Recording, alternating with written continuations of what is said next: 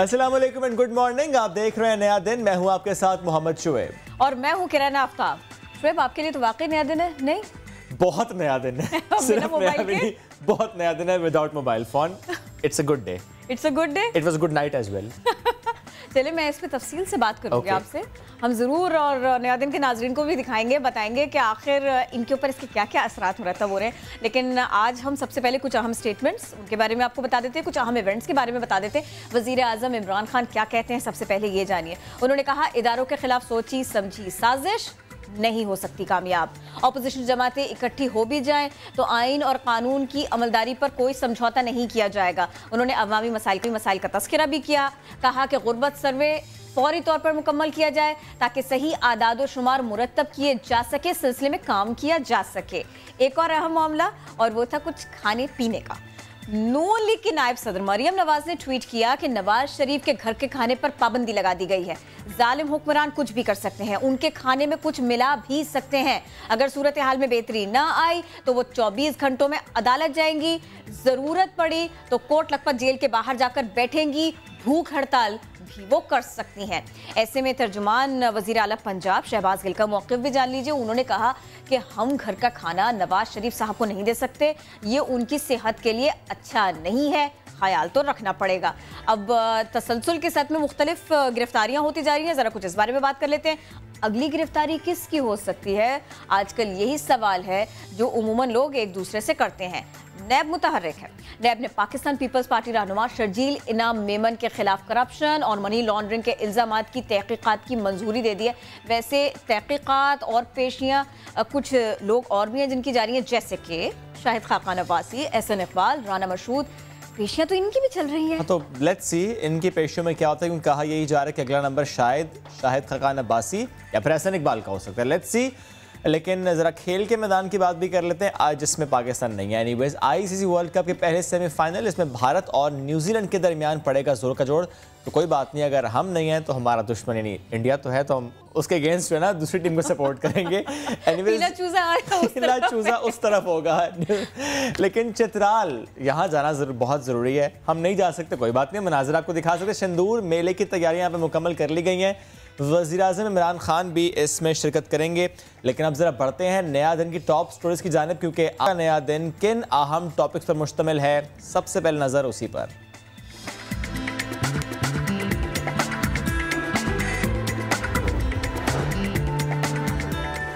कराची में खस्ता हाल बसें, लाहौर में मेट्रो का जाल, दो बड़े शहरों के मुसाफिरों के लिए दोहरा मैार।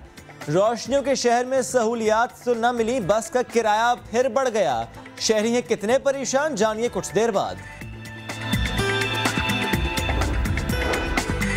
पेशावर में मेट्रो बस का मंसूबा वफा न हो सका, छह माह में बनने वाला बीआरटी प्रोजेक्ट 21 माह बाद भी मुकम्मल ना हो सका। सफ़ेद हाथी समझे जाने वाले प्रोजेक्ट में ताखीर की वजूहत क्या हैं, जानिए कुछ देर बाद।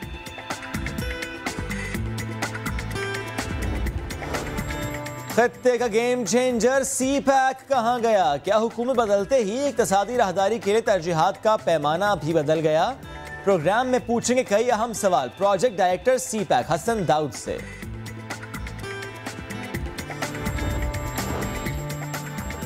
हेपेटाइटिस कंट्रोल करने के लिए पंजाब हुकूमत का अहम फैसला, लाहौर के तमाम हेयर ड्रेसर्स और ब्यूटी पार्लर्स की रजिस्ट्रेशन और लाइसेंस को लाजमी करार दे दिया गया। क्या दीगर शहरों के लिए ऐसा फैसला नहीं होना चाहिए?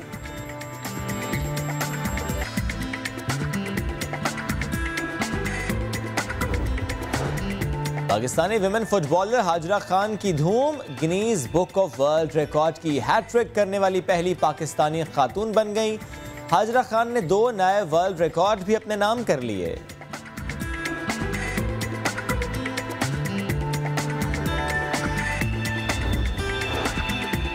कम उम्र में बड़ी समाजी खदमात। 20 साल पाकिस्तानी लड़की अलीना अजहर को लेडी डियाना अवार्ड से नवाजा गया। अलीना अजहर से मिलवाएँगे नया दिन में। ईद कुर्बान का रंग जमने लगा। फैसलाबाद के व्यापारियों ने जानवरों की आओ भगत तेज कर दी। मनो वजनी खूबसूरत जानवर मवेशी मंडी में धाक बिठाने के लिए तैयार।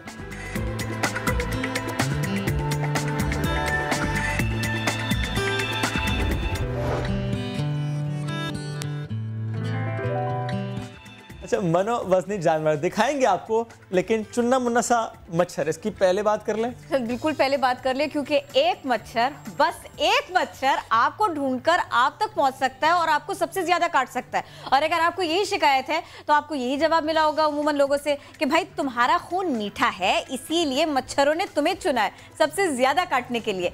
लेकिन अब दिलचस्प साइंसी तहकीक बताती है कि इसकी एक खास वजह एक और वजह है। इसकी जो ख़ास वजह वो भी आपको बता देते हैं कि आ, जो फ़ज़ा में हम बेसिकली केमिकल्स छोड़ते हैं। या कहना चाहिए कि जो आपकी बॉडी से सक्रीशंस हैं उसकी वजह से अट्रैक्ट हम्म। करते हैं आ, ये वो वो जो सक्रीशन हैं वो अट्रैक्ट करते हैं इस मच्छर को। तो नीदरलैंड की यूनिवर्सिटी के माहिर ने कहा है कि इस ये जो फ़ज़ा में खारिज होने वाले केमिकल हैं यही मच्छर को अपनी तरफ़ अट्रैक्ट करते हैं खसूस तर्ज वो ढूंढ लेते हैं और उसके हिस्से खदूद बड़े तेज होते हैं। तो इंसानी जिसम से फ़जा में खारिज होने वाले केमिकल्स के ज़रिए हदफ का तयन करते हैं और फिर अटैक करते हैं। तो कोई आपसे कह रहा है कि आप बहुत मीठे हैं तो ऐसा कोई मामला नहीं है ऐसा कोई चक्कर ही नहीं है। कार्बन डाइऑक्साइड ख़ास तौर से इनकी रहनुमाई करती है। तो यानी ये कार्बन डाइऑक्साइड को ढूंढते ढूंढते उथे पहुँच जाते हैं। मैं कहने वाली थी पाइजन की ज़ुबान पर उबूर देखे। अच्छा अब ज़रा बढ़ते हैं आगे और एक बड़ी एक बड़ी अजीब व गरीब बीमारी का ज़िक्र करते हैं। आपको याद होगा, हमने ट्री मैन इसका ज़िक्र कुछ चंद दिन पहले किया था, लेकिन अब एक खातून इसका हम ज़िक्र कर रहे हैं जिसके बारे में कहा जा रहा है कि वो पत्थर की बन चुकी हैं। तेईस साल ये खातून है और इनका जो जिसम है, वो स्टोन मैन सिंड्रोम नामी बीमारी के बायस इंतहाई सख्त हो गया है। गैर मुल्की मीडिया के मुताबिक, बरतानवी खातून तकरीबन नौ साल से नौ साल की उम्र से इस बीमारी का शिकार हुई थी और अब व्हील चेयर पर बैठी हैं और ये एक ऐसा अर्जा है जो इंसानी जिसम में जो टिश्यूज़ हैं उनको नरमी से महरूम करता है यानी वो सख्त हो जाते हैं टिश्यूज़ हड्डी की तरह सख्त हो जाते हैं। और अब तो ये सिचुएशन है कि अगर जिसम में मामूली सी तब्दीली भी आए तो एक नई हड्डी की तश्कील हो जाती है यानी जो ग्रोथ है और नई हड्डी की वो हो सकती है यानी हड्डी की तरह के टिश्यूज़ वो हो सकते हैं। और ये भी कहा जा रहा है कि अगर मुतासरा शख्स के जिसम को फ्रीज कर लें तो बिल्कुल एक मुजस्मा बन जाएगा ये। सही।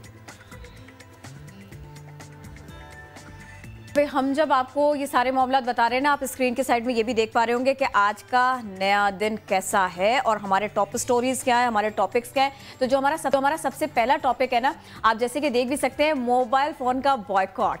तो सबसे पहले ना हम इसी टॉपिक को इंक्लूड करते हैं। आगे की स्टोरीज भी हैं। आगे की स्टोरीज भी है। पूरी हमारे पास रॉ है। शहरी की नाराज़गी तक है। तो पहले चूँकि ये हमारी स्टोरी है ना तो हम पहले यही बात कर लेते हैं।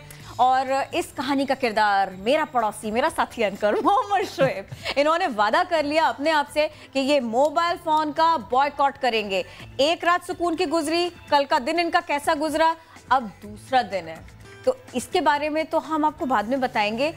प्लानिंग करते वक्त मीटिंग करते वक्त उनको हमसे किस तरह से मदद चाहिए थी? उन्होंने हमसे क्या कहा था? उसकी एक झलक आपको दिखा देते हैं।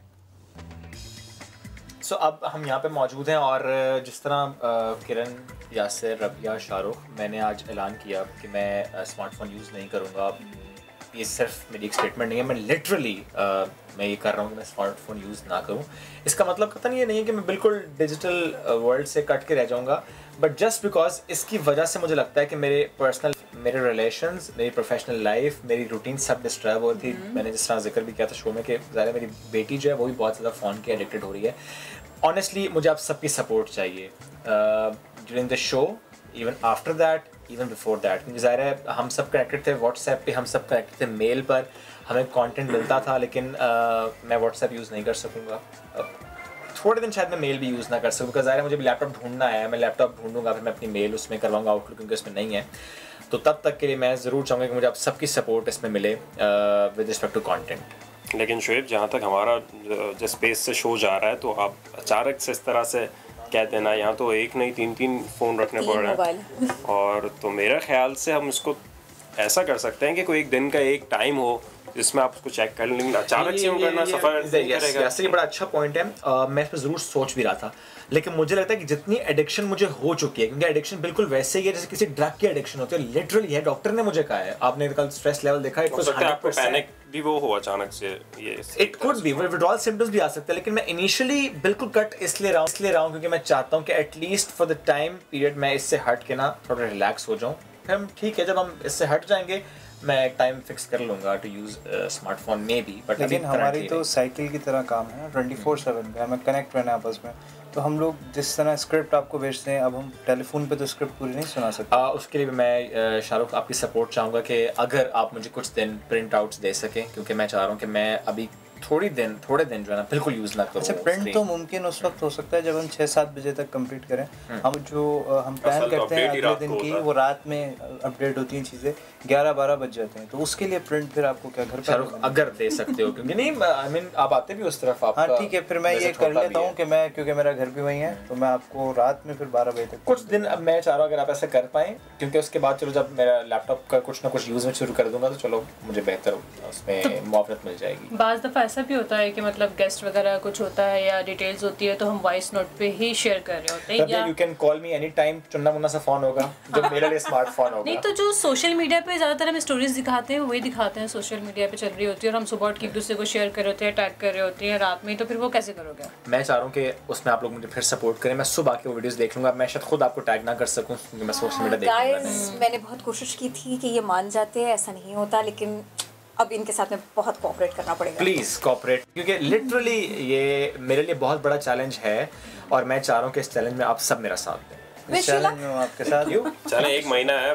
देखते हैं। Best of luck okay so yes this is a challenge जिसे मैंने कहा है कि वन मंथ चैलेंज आप इसमें सेल फ़ोन की बात भी कर सकते हैं आप सिर्फ़ सोशल मीडिया की बात भी कर सकते हैं यानी जो चीज़ आपको तंग कर रही है आप उससे छुटकारा हासिल करने करने एटलीस्ट एक मंथ दूर रहे हैं उससे। भाई आप बहुत अच्छी कोशिश कर रहे हैं। कल तो मैं सोच रही थी कि पता नहीं किस तरह से करेंगे ना ये किस तरह की इन्होंने बात की लेकिन आज मैं कन्विंस हूँ आपके साथ हूँ। मैं छोड़ नहीं रही लेकिन सुबह मुझसे पूछा ना शाहरुख आए थे रात को। हाँ शाहरुख। ये बताया मुझे पहले। जवाब तो मिले क्या होगा आपको। एनीवेज कोई बात नहीं मैंने सुबह मैं आज जल्दी आया मैंने पहले कंटेंट वगैरह सारा देख लेंगे जो मुझे रिसर्च करनी थी मैंने कर ली। लेकिन यहाँ मैं ये ज़रूर किरण ज़िक्र करता हूँ आगे चल के कि आपको याद होगा पेशावर में बी आर टी यानी पी टी आई की पीटीआई की मेट्रो कह देते हैं कि छः माह में बनाने का ऐलान किया गया था लेकिन उस ऐलान का क्या हुआ? क्योंकि तकरीबन बीस इक्कीस माह तो गुजर गए हैं और अब मालूम ये हो रहा है कि पेशावर में मेट्रो बस शुरू नहीं की जा सकी। तो ये तो मामला था पेशावर का। शुएब बीआरटी का अहवाल ही जानेंगे ना। इसी बारे में बात कर लेते हैं। हम दोनों तो इसका इसका तस्करा कर सकते हैं इसकी तफसील जान लेते हैं। सज्जाद हैदर हमारे साथ हैं उनसे बात कर लेते हैं। सज्जाद सारा मामला क्या है? डेडलाइन पर डेडलाइन तारीख पर तारीख और नतीजा फिर क्या निकला? जी, बिल्कुल, हम इस टाइम यहाँ पर अरबाब रोड के बीआरटी के स्टॉप पर मौजूद है और जैसा कि खैबर पख्तनख्वा हुकूमत ने 2017 में जो है बीआरटी का बाकायदा आगाज़ किया था, परवेज़ खट्टा को उस टाइम के वजी अला ने जो है इसका अफ्ताह किया था बाकायदा और ये कहा था कि छः महीनों के अंदर अंदर इस पूरे बीआरटी को जो है मुकम्मल किया जाएगा। छब्बीस किलोमीटर का ये ट्रैक बताया जा रहा है, जो चमकनी से शुरू होता है और हयाताबाद में जो है, वो जाके ख़त्म होता है। लेकिन अभी भी देखा जाए तो छः महीने तो दूर की बात अट्ठारह बीस महीने जो है गुजर चुके हैं और दूसरा साल मुकम्मल होने को है। लेकिन अभी भी बीआरटी का जो है कोई मुकम्मल होने का कुछ पता नहीं कि ये कब मुकम्मल होगा। हुकूमत कहीं कहीं दफ़ा तारीख दे चुकी है, लेकिन इस प्रोजेक्ट को तारीख गुजरने के बाद मुकम्मल नहीं किया जा सका, जिसके ऊपर वजी अला ने जो है कार्रवाइयाँ भी की हैं। लेकिन उनकी जन्म से यही कहा जाता है कि बीआरटी को जो है, जल्द जल्द मुकम्मल किया जाएगा। तेईस मार्च की तारीख हुकूमत ने दी थी कि इसका अफ्ताह किया जाए, लेकिन तेईस मार्च को जो है, वो अफ्ताह नहीं कर सके। बी के लिए जो 220 बसें जो है, मंगवाई गई हैं, उसमें से अभी भी जो है, सिर्फ़ नब्बे से बानवे बसें जो है, वो पिशावर में पहुँची है। अच्छा उसमें बसों में अगर हम देखा देखें तो बसों में जो है, कुछ अट्ठारह मीटर की बसें हैं। तो गुलबर्ग और कुछ एरियाज़ हैं जहाँ पे वो टर्न नहीं कर सकती तो उसकी टर्न के लिए एक अब उसको एक्सटेंशन दी जा रही है, उसकी पुल को जो है ओवर ब्रिज को जो है तो दी जा रही है ताकि वो बस वहाँ से मुड़ सके। यूनिवर्सिटी रोड की हम अगर यहाँ पर बात करें तो यहाँ पर कुछ स्टॉप ऐसे थे कि जहाँ से बीआरटी की बस जो है गुजर नहीं सकती थी, तंग बनाए गए थे तो दोबारा उसको जो है तोड़ के उसको भी ट्रैक को जो है तो दी जा रही है। बीआरटी के हवाले से अगर हम बात करें तो बसें जो है अभी भी जो हैदराबाद का एक डिपो है और जो चमकनी रोड पर जो है वो वहाँ पर मौजूद है, खड़ी हैं, उस पर भी जो है हुकूमत की जानब से कुछ मुकफ़ा नहीं किया जा रहा कि कब इसको जो है शुरू किया जाएगा और कब बाकायदा बी आर टी का जो है अफ्ताह किया जाएगा। बी आर टी को जो है तारीख पर तारीख दी जाती है, लेकिन अब जो हुकूमत जो है, इसके बाद जो है तारीख देने से भी कतरा रही है, वो कोई तारीख नहीं दे रही। प्रोजेक्ट की अगर डेट हम देखें एशियन डेवलपमेंट बैंक के डॉक्यूमेंट्स के अंदर तो वो 2021 एक्सपेक्टेड डेट बताई जा रही है कि उसमें जो है बीआरटी का जो है पूरा 100 परसेंट काम मुकम्मल होगा और बीआरटी जो है फंक्शनल होगी लेकिन सूबाई हुकूमत जो है अब तारीख देने से कतराती जा रही है यहाँ पर हम मसाइल के हवाले से बात करें तो पिशावर के शहरीों को भी जो है काफ़ी मुश्किल का बी के दौरान जो है सामना करना पड़ा अभी भी जो है ओवर ब्रिज जो है बनाए नहीं जा मुकम्मल नहीं किया जा सके जिसकी वजह से जो है लोग जो है पैदल रोड ऐसे ही क्रॉस करते हैं और जिसमें जो है काफ़ी ख़तरात हैं हैं टी में जो है पाँच अफराज जो है जब बहक हो चुके हैं जिसमें इसके मजदूर भी शामिल हैं और साथ साथ जो है आम शहरी भी शामिल है जिसमें खातून भी है और एक स्टूडेंट तलबा जो कि बी आर टी में जो है इसमें एक्सीडेंट के दौरान जो है वफात पा चुके हैं इसके साथ साथ हम बात करते जाए यहाँ पे ट्रैफ़िक वार्डन की जानब से जो है एक मरासला जो है पी को लिखा गया था उसमें कहा गया था कि जो ट्रैफ़िक वार्डन है धूल मिट्टी की वजह से उनकी तबीयत जो है ख़राब हुई और उनके इलाज के लिए जो है पैसे चाहिए तो पैसे जो है पी जो है वो अता करे ताकि उनका इलाज भी करवाया सके। अब भी हम अगर हुकूमत से इसकी बी आर टी के मतलब बात करते तो वो यही कहते हैं कि बी आर टी बन जाएगा, जल्द बन जाएगा और जल्द इसके अफ्ताह हो जाएगा, लेकिन अब वो कोई भी तारीख देने से कतराते हैं। जी। सजाद आप तो हमें अपडेट कर रहे हैं कि जिस तरह इस मनसूबे की तकमील एक बड़ा इम्तहान है हुकूमत के लिए, लेकिन अगर हम पेशावर के शहरीों की बात करें, वो इस मनसूबे को कैसे देखते हैं? डेडलाइन पर डेडलाइन दी जाती है, उसको कैसे देखते हैं? जो आए रोज़ वाकत रिपोर्ट होते हैं with respect to B R T उस पर क्या रिएक्शन है? शहरियों का वो भी आपके सामने रखते हैं। उस टाइम तो उन्होंने सियासी बयान दे दिए। लेकिन जिस तरह इस पर काम शुरू हो रहा है तो इतना भी नहीं है कि ये दो साल तक एक्सटेंड हो जाए। पहले से प्लान करना चाहिए था ना तकरीबन पाँच छः इंच की जगह तो वैसी एक्स्ट्रा दे देनी चाहिए थी। क्योंकि इन्होंने एक तो सर्विस रोड को भी ख़त्म कर दिए है। तो काफ़ी जगह थी इनके पास लेकिन शायद सही प्लान नहीं हुआ उस टाइम लोगों को बहुत तकलीफ़ होती है इस वजह से। और हुकूमत पता नहीं कब वो तैयार करेंगे। बस छः महीने छः महीने, एक महीना महीना तो कहते हैं लेकिन बी आर टी पता नहीं सालों सालों गुजर हो गया और बी आर टी तैयार नहीं होगा यही तब्दीली का जो नारा मारा था, ये तब्दीली हमने ले आया ना, यही तब्दीली है ना जी। और इसके बारे में हम क्या बोल सकते हैं? दो साल हो गए, लोग जलीलो ख्वार हो रहे हैं, और क्या है? शहरियों को क्या लगता है? हमने आपको ये बताया। शहरियों को लगता है कि उन्होंने प्लानिंग नहीं की। शहरियों को लगता है कि उन्हें एक और डेडलाइन मिलेगी। शहरियों को लगता है कि उन्हें डेडलाइन पर डेडलाइन मिलेगी। हुकूमत को इस बात की शायद परवाह नहीं है, लेकिन शहरी बहुत परेशान है। क्या हुकूमत को वाकई शहरियों की परेशानी का इदराक है? क्या वो मजीद डेडलाइंस नहीं देंगे और इसको मुकम्मल कर पाएँगे? आज हम इसी सब के ऊपर ज़रा तफसील से बात करेंगे। रहनुमा पीटीआई आयशा बानू हमको ज्वाइन करेंगे आयशा वेलकम टू नया दिन। ये फरमाइएगा क्या वाकई वाकई बी आर टी पेशावर ये सफ़ेद हाथी बन गया मनसूबा। हर गुजरता दिन एक नया मसला लेकर आता है। क्या कहेंगे आप इस पर? अस्सलाम वालेकुम जी। आ, सबसे पहले किरण शेब थैंक यू वेरी मच कि आपने अपॉर्चुनिटी दी कि हम लोग गवर्नमेंट का एक जो एस्पेक्ट है वो आपको बता सकें। बिल्कुल भी वाइट एलिफेंट नहीं है। चिट्टा हाथी नहीं है ये इतना बड़ा एक प्रोजेक्ट है कि इतने बड़े प्रोजेक्ट को बनाना और इसका एग्जीक्यूशन जो है ज़ाहिर है वो एक बहुत बड़ा मरहला है और बहुत ही एक डिफ़िकल्ट टास्क है। देखिए जहाँ तक इसकी मेरिट की बात है तो आप भी बीआरटी के मेरिट को क्वेश्चन नहीं कर सकते हैं। आ, बस रैपिड किसी भी अगर आप बड़े सिटी किसी भी किसी आप बड़े शहर जाएँ मॉडर्न सिटी में जाएँ तो वहाँ पर मैस ट्रांजिट का सिस्टम ज़रूर होता है। क्योंकि शहरियों की ये एक नेसेसिटी है इट्स ये एक वक्त का एक ज़रूरत है कि आपके पास एक रैपिड ट्रांजिट होनी चाहिए, चाहे वो बस की फॉर्म में हो, चाहे वो ट्रेन की फॉर्म में हो चाहे वो अंडरग्राउंड्स की फॉर्म में हो लेकिन कोई भी जो एक आपकी एक जो कैपिटल सिटी होती है, उसमें एक जो है ना rapid transit system it's an absolutely एक मस्ट चीज़ है और ये ज़रूरी है। नंबर वन नंबर टू इसके अगर मेरिट के ऊपर आप बात करते हैं तो बी के मेरिट के को आप बिल्कुल भी क्वेश्चन नहीं कर सकते हैं। इट्स एन एक्सेलेंट प्रोजेक्ट है। अगर आप इसको देखें तो ये हमारे सूबे के बहुत बड़े बड़े प्रोजेक्ट्स में से ये प्रोजेक्ट कंसिडर हुआ है। जिसकी, जितना मैसिव स्केल पे इसमें अगर आपने देखा है कि डिफरेंट एरियाज़ को ये एक्सेस दिया गया है और डिफरेंट एरियाज़ को ये अप्रोच दी गई है। एंड सबसे जो बड़ी बात है द फिजिबिलिटी कि आप चमकनी से लेके आप हैदराबाद तक जो भी आना चाहता है उनके लिए पार्किंग प्लाजास हैं।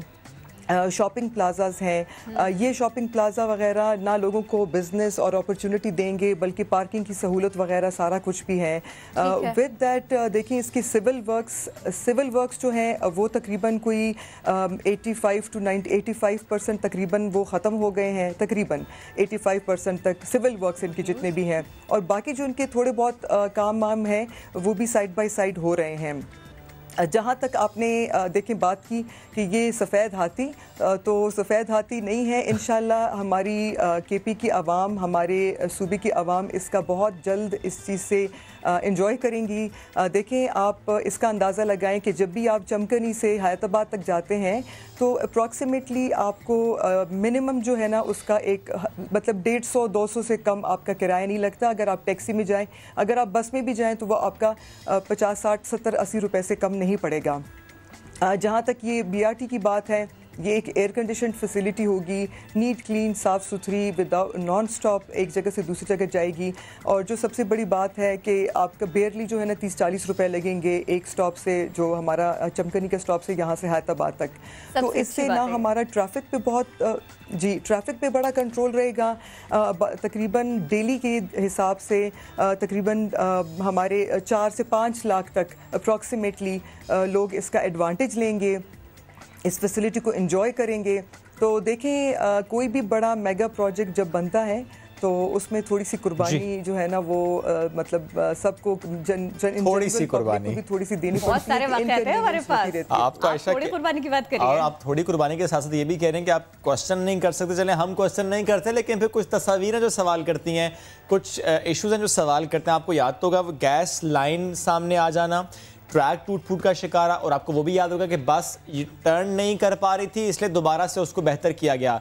तो ये बड़ी संगीन कोताहियाँ थी जो रिपोर्ट हुई थी। फिर मौसर एक्शन क्यों नहीं हुआ इससे मुतालिक? और हुआ है तो बताइए। अगर जी बिल्कुल अगर आपको जी याद हो तो हमारी जो एशियन डेवलपमेंट बैंक है उनकी टीम आई थी आ, आ, मार्च में। और उन्होंने जहाँ जहाँ पर फ्लॉज और जहाँ जहाँ पर प्रॉब्लम्स आइडेंटिफाई किए थे आ, उन सब के ऊपर वर्किंग हुई और जून में दोबारा उनकी टीम दोबारा से आई है।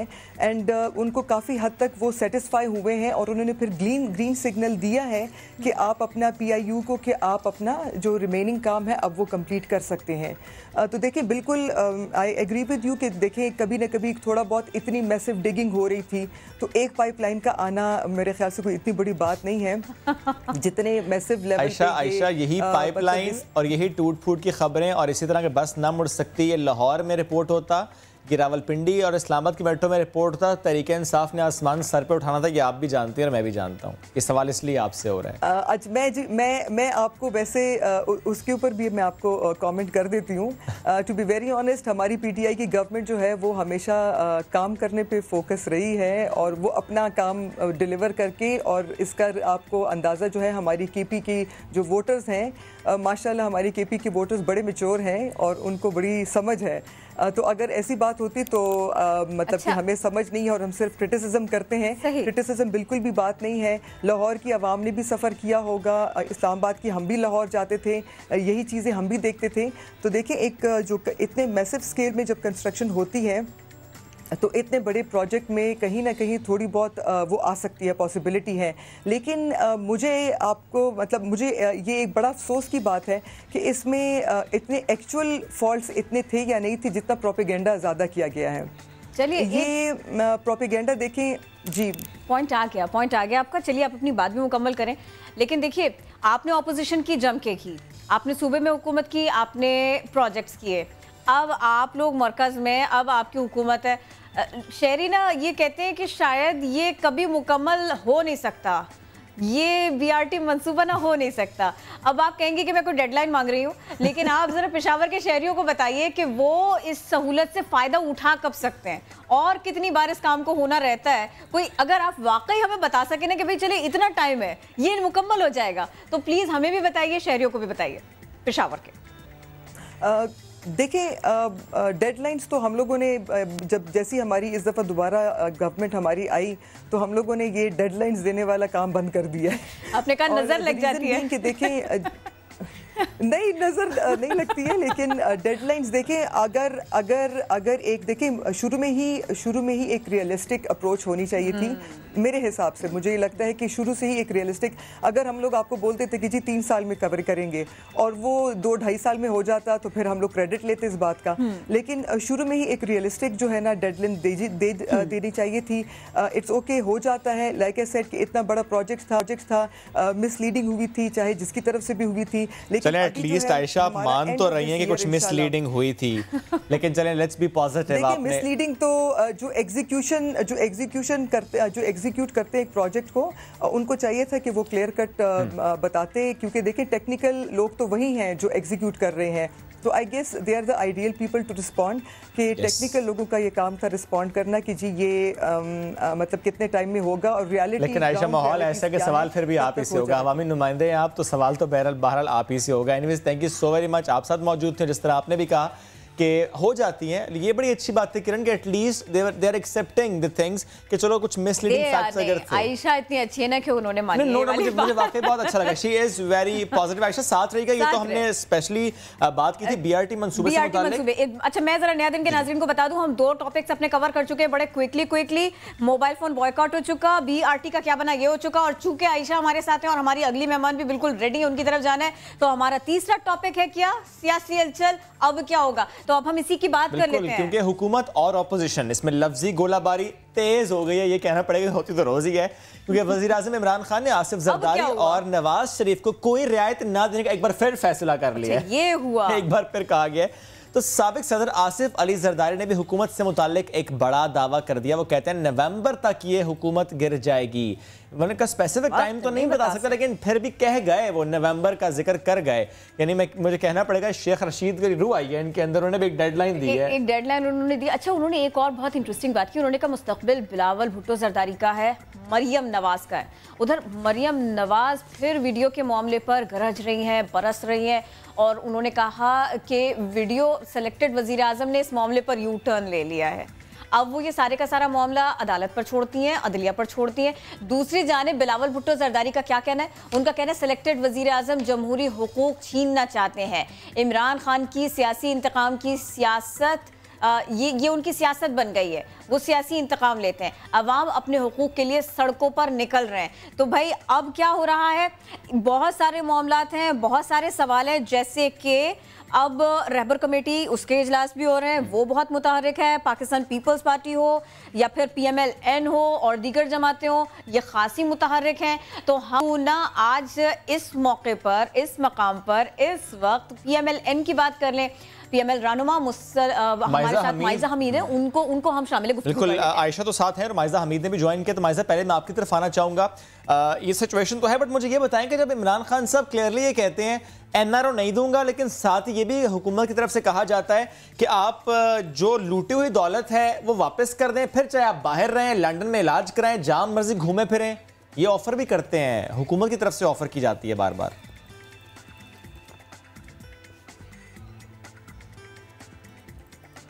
माइजा आपको माइजा आपको आवाज़ आ रही है? हेलो जी जी। आवाज़ आ रही है? जी जी आवाज़ आ रही है आपकी हेलो। जी जी माइजा आपकी आवाज़ आ रही है। हेलो।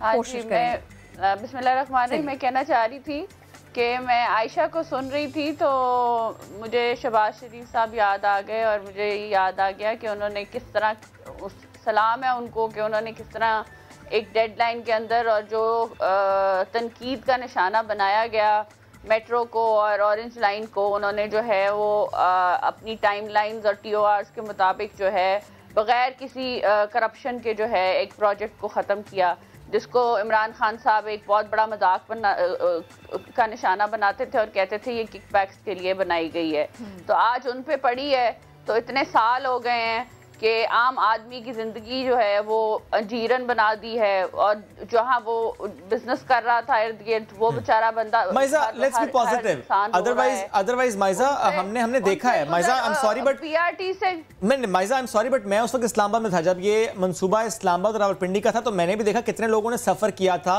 अंग्रेज़ी वाला सफ़र। और स्पेसिफिकली मरी रोड के लोगों तो let let's not talk about that but let's not talk about the issues I want to talk about that why deadline में मुकम्मल हुआ था।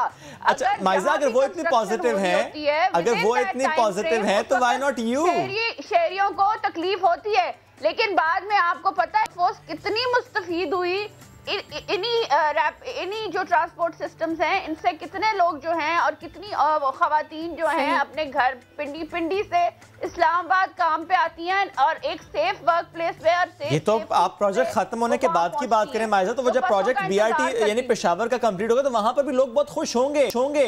वो बहुत अच्छा मनसूबा है और कराची वाले तो सिर्फ़ देख ही सकते हैं लाहौर पिंडी और पेशावर तो हमारे पास तो मनसूबा है भी नहीं। मेरा मुतालबा है मेरा मुतालबा ये है कि ठीक है वो खुश होंगे ज़रूर खुश होंगे पता नहीं कब खुश होंगे लेकिन मेरा मुतालबा ये है कि पहले उसकी इन्वेस्टिगेशन तो कर लें वहाँ के एहतसाब कमीशन को तो ख़त्म कर दिया उसकी इन्वेस्टिगेशन तो कर लेंगे उसके फ्लॉज का कौन असल जो है वो रिस्पॉन्सिबल और किस तरह की करप्शन हुई है उसमें? एडीबी जो है बैंक जो है उन्होंने कहा है कि वहाँ उसमें मेजर फ्लॉज हैं वो बहुत डेंजरस लेकिन लेकिन आयशा आयशा हमारे साथ है। माइजा एशियन डेवलपमेंट बैंक से मुतालिक उन्होंने तो हमें कुछ और बताया आयशा तो आयशा क्या कह सकती हैं? सवाल ये कि वो अपनी पार्टी को डिफेंड करें लेकिन ये एक ऐसा प्रोजेक्ट वो तो सारे रहनुमाई करते हैं माइजा नॉट जस्ट आयशा। तरह खोल दिया है जिसके अंदर से एक के बाद एक जो है करप्शन नज़र okay, आ रही Maiza Maiza let Ayesha to respond Ayesha please Asian development bank bank से मुतालिक वो बात कर रही है माइजा मैं चाहता हूँ आप रिस्पोंड करें इसको। एशियन डेवलपमेंट बैंक में देखें एशियन डेवलपमेंट बैंक ने उन्होंने जून में अपना एक दोबारा से आके मार्च में उन्होंने जो उनको ग्रीवियंसेस थी वो आइडेंटिफाई हो चुकी थी। जून में दोबारा वो आए हैं। जून में उन्होंने ग्रीन सिग्नल दे दिया है कि जी जितने भी हम लोगों ने आइडेंटिफाई किए थे प्रॉब्लम्स वो सारे सॉर्ट आउट हो गए हैं। वो हम लोगों ने कवर अप कर दी जो भी चीज़ें थी उनको क्लियर कर दी है जो भी जहाँ पर जो भी फ्लॉज उनके all set with Asian development bank now उन्होंने पीआईयू को फिर जी। ये, ये भी बता दीजिए इसके साथ साथ ये भी बता दीजिए वो कह रही है कि जो जिम्मेदार है जिसकी वजह से जिसकी गफलत किसी के सामने आई है उसका एहतसाब होना चाहिए। इस पर भी काम हो रहा है? आयशा आप कहिएगा। देखिए एहतसाब तो एहतसाब तो हम हमारा तो जी हमारा तो जो अकाउंटेबिलिटी है वो तो हमारा स्लोगन ही अकाउंटेबिलिटी हम कहते करें अकाउंटेबिलिटी जिसकी करनी है। बिल्कुल करें हम लोग तो नहीं, हो रही है। अकाउंटेबिलिटी कर रहे हैं जी देखिए कोई कोई अगर अगर किसी को लगता है कि कह रही है आप लोग कर रहे हैं लेकिन सिर्फ़ ऑपोजिशन अकाउंटेबिलिटी ऑपोजिशन के। लिए। देखें अकाउंटेबिलिटी हम लोग तो देखें हाथ से पकड़ के किसी को नहीं जेल में डाल के आए ना। लेकिन एक प्रॉपर तरीका होता है हर एक चीज़ का एक तरीका होता है। अगर कोई कंप्लेंट है के साथ कोई आपके आप, आपके प्रोग्राम के तवासत से मैं ये कहना चाहती हूँ कि 19 बिलियन की आपने एक प्रोजेक्ट शुरू किया। उसके बाद आपने उसको 100 बिलियन पे लेके चले गए। अब आपसे अवाम सवाल ना पूछे कि आप लोगों ने करप्शन सौ से थोड़ा सा कम कर लें। रिस्पॉन्सिबल है? और उसको पकड़ा नहीं, नहीं, गया है नहीं, कि नहीं, नहीं पकड़ा गया या उसको नैब ने कस्टडी में लिया गया है कि नहीं लिया गया वहाँ उस वक्त जो हाकिम थे वो चीफ मिनिस्टर परवेज खटक थे जो जिन्होंने ये प्रोजेक्ट शुरू किया था उनसे कोई सवाल पूछे गए हैं बीआरटी के बारे में? आयशा प्लीज़ आयशा रिस्पॉन्ड करें इसको भी। ये रोज के रोज खबरें जाती हैं रोज खबरें आती हैं कि बीआरटी में ये हादसा हो गया ये एक कत्ल के मुरातब है आप लोग कोई जवाब दे है इसमें? ये जवाब दे रही हैं। आप लोग सिर्फ़ देखिए बात सुने अगर अगर आपने टीवी पे आके और चीज़ चीज़ के सवाल शुरू कर देने हैं और उसका जवाब सुनना ही नहीं है तो फिर ये बड़ा मतलब आयशा साहिबा शुरू हो। जाए अपना ही सवाल करें और अपने ही जवाब दें और सवाल के जवाब तो फिर मेरे ख्याल से किसी दूसरे पार्टी को बुलाने की ज़रूरत साहिबा हमने बीआरटी के ऊपर बात कर ली। अब हम जरा सा आगे बढ़ते हैं हम हम कुछ और मौजूद हैं उनके ऊपर भी बात कर लेते हैं माइजा साहबा आप रिस्पॉन्ड कीजिएगा अब एक तरफ़ नवाज़ नवाज़ शरीफ साहब, जेल में वो वाले प्रॉब्लम्स हैं। दूसरी तरफ़ आप लोग जलसे करने जा रहे हैं कॉर्नर मीटिंग्स करने जा रहे हैं। ये हुकूमत ने वाजे तौर पर कह दिया है कि कोई रियायत नहीं मिलेगी। अब आगे आप लोगों की स्ट्रेटजीज क्या है? ये जल से आप लोग कहाँ तक? जल से जुलूस मीटिंग्स ये आप लोग कहाँ तक लेकर के जाएँगे? सोचा वह क्या आगे? मैं हैरान हूँ prime minister selected prime minister पे। एक तरफ़ कहते हैं, हम आपको जलसे जल नहीं करने देंगे। तो जब जलसे वो नहीं करने देते तो जिस तरह कल मंडी परसों संडे को मंडी बावलदीन में जलसा हुआ, उसमें आप, उन्होंने हमें जलसा तो करने नहीं दिया, लेकिन हर जगह पे इतने लोग इकट्ठे हो गए, लाहौर से लेके मंडी बहावलदीन तक, सियाल तक, कि एक जलसा, हर जगह पे जलसा बन गया। तो इनके लिए तो हर जगह मुश्किल बन जाती है क्योंकि अवाम तो निकलने के लिए बाहर जो है बेताब है क्योंकि महँगाई इतनी महँगी कर दी है टैक्सेस इतने बढ़ गए हैं बिजली का बिल इतना महँगा हो गया गैस का बिल इतना महँगा हो गया आवाम की ज़िंदगी जो है वो उन्होंने जीना हराम कर दिया। सत्रह हज़ार रुपया एक आम आदमी की तनख्वाह है वो किस तरह जो है गुजारा करेगा इस तरह की सारे इनडायरेक्ट टैक्स से और बिजली और गैस का बिल पे करेगा और अपने बच्चों का पेट पालेगा। कल जो है इन्होंने दो, तीन मेजर चार मेजर चैनल्स को जो है इन्होंने बंद कर दिया। ये सेंसरशिप की बात करते थे। हम, हमने जब ये धरना दे रहे थे तो 24 फोर आवर्स पीएम पीएमएलएन की हुकूमत में लाइव दिखाया जाता था इनका धरना जो भी ये क्विकली इसको इसको रिस्पॉन्ड कर दीजिएगा आयशा। आयशा साहबा ये माइजा साहबा का ये वाला पॉइंट क्विकली रिस्पॉन्ड कर दीजिए। किरण किरण किरण मैं इसका जवाब आपको ये दूँगी चाहे ये जितना भी शोर करें चाहे जितना भी चीखे अकाउंटेबिलिटी होगी। ये अगर ये ये लगता है कि टीवी पे आके चीखने से कोई अकाउंटेबिलिटी नहीं होगी तो अकाउंटेबिलिटी होगी देखिए चैनल के उनके उन्होंने चैनल को अगर किसी चैनल को बंद किया है तो उन्होंने अपने कोई रूल्स एंड रेगुलेशन ठीक है। आप तो बहन आप जवाब सुन ही नहीं रही है। आप सवाल ही कर रही है। खुद ही सवाल मैंने टाइम दिया आपको। मेरी बात सुन लेना। अच्छा चलिए बात मुकम्मल कीजिए आप। नहीं नहीं आप आप चलिए हम सुन ही रहे हैं। हम सुन ही रहे हैं। ओके ओके आयशा माइजा को कंप्लीट करना। दीजिए माइजा। में मैं आपको एक फैक्ट बताती हूँ कि 11 लोग 11 लोग ऑपोजिशन के अकाउंटेबिलिटी पे आप लोगों ने नैब की कस्टडी में रखे हुए हैं। ठीक है। एक जो हमारा नेशनल असेंबली का मेंबर है उसको आपने जो है एक फॉल्स केस के अंदर जो है वो आपने एएनएफ को पकड़ा दिया है। आपके गवर्नमेंट के दो मेंबर्स हैं जिनको आपने पकड़ा है और उनमें से अलीम खान साहब को आपने बेल पे छोड़ दिया हुआ है। क्या ये अकाउंटेबिलिटी क्रॉस द बोर्ड हो रही है? आप मुझे जवाब दे दे बाय नंबर्स जवाब दे दे। माइजा साहबा पॉइंट आ गया बात, बात ये कि आपने तो पिछले कोई साढ़े तीन सौ सवाल कर दिए और जवाब भी आप उनका खुद ही दे रही हैं तो तो आप या तो जवाब का मुझे उसी वक्त दे देने दे दे। देखिए अकाउंटेबिलिटी होगी चाहे कि कोई अकाउंटेबिलिटी होगी। अकाउंटेबिलिटी होगी और अगर नहीं होगी तो फिर फिर आयशा साहबा सवाल आप से होगा पाकिस्तान तरीके से आई एम सो सॉरी बिल्कुल वक्त बहुत महदूद है मेरे पास में बहुत सारे टॉपिक्स आज करने के लिए। कोई और दिन कोई और बैठक जिसमें हम इसको मजीद भी इस पर बात करेंगे। माइजा साहब हमारे साथ थी आयशा साहब हमारे साथ थी। बहुत शुक्रिया आप लोग हमारे साथ थी और गर्मा गर्म बहस हो गई। बहुत गर्मा गर्म बहस सुबह सुबह इतनी गर्मा गर्म बहस नहीं होनी चाहिए। It's new day relax coffee पीजिए।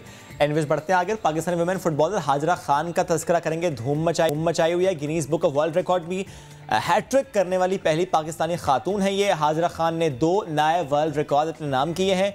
फुटबॉल की दुनिया का सबसे तवील तरीन दौरानिए का मैच हुआ जिसमें पाकिस्तानी खातन जो हमारी नुमाइंदगी कर रही थी यानी हम्म। उसमें जो फुटबॉलर अभिया हैदर हैं और हाजरा खान इन्होंने शिरकत की थी और ये तारीख फ्रांस के शहर में रकम की गई है। इस तवील तरीन यस और इस तवील तरीन दौरानिए के मैच में सड़सठ ममालिक तकरीबन साढ़े तीन हज़ार खातन फुटबॉलर ने शिरकत की थी। और चार रोजा मैच में पाकिस्तान फुटबॉल टीम की कप्तान हाजरा खान ने शानदार परफॉर्मेंस दिखाई।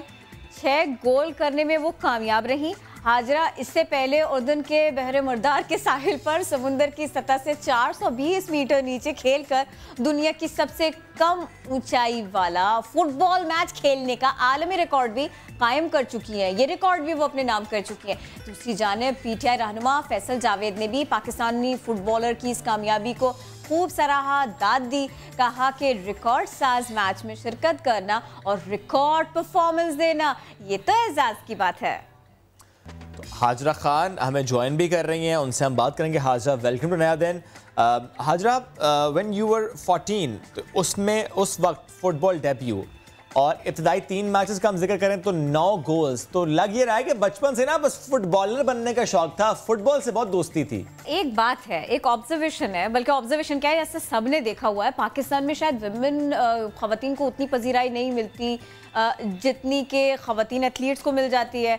फुटबॉल को उतनी पजीराई नहीं मिलती, जितनी क्रिकेट को मिलती है। ऐसे में बतौर विमेन फुटबॉलर अपना नाम बनाना, मुल्क का नाम रोशन करना, बड़ा मुश्किल टास्क था, नहीं?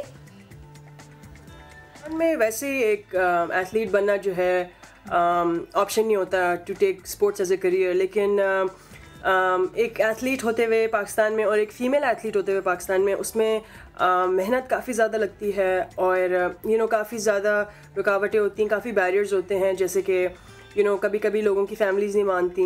थैंकफुली मेरी फैमिली की काफ़ी सपोर्ट थी मेरे पास। um, और फिर आपके सोशल आपके नॉर्म्स होते हैं um, लोग बुरा भला कह रहे होते हैं कि you you know know, um, लड़की हो घर से बाहर जाओगी। जब मैंने खेलना शुरू किया था तो मेरे रोल मॉडल्स कोई भी नहीं थे फीमेल पाकिस्तान में। तो मैंने डिसाइड किया कि क्यों ना मैं एक रोल मॉडल बन जाऊँ maybe you know next generation के लिए। तो बस यही मोटिवेशन रही है एंड अल्हम्दुलिल्लाह the results have been great अच्छा बिल्कुल जिस तरह आपने कहा बहुत चैलेंजेस होते हैं लेकिन आपको फैमिली की सपोर्ट हासिल है तो मुझे ये बताएँ घर में सबसे ज़्यादा लाडली आप किसकी हैं?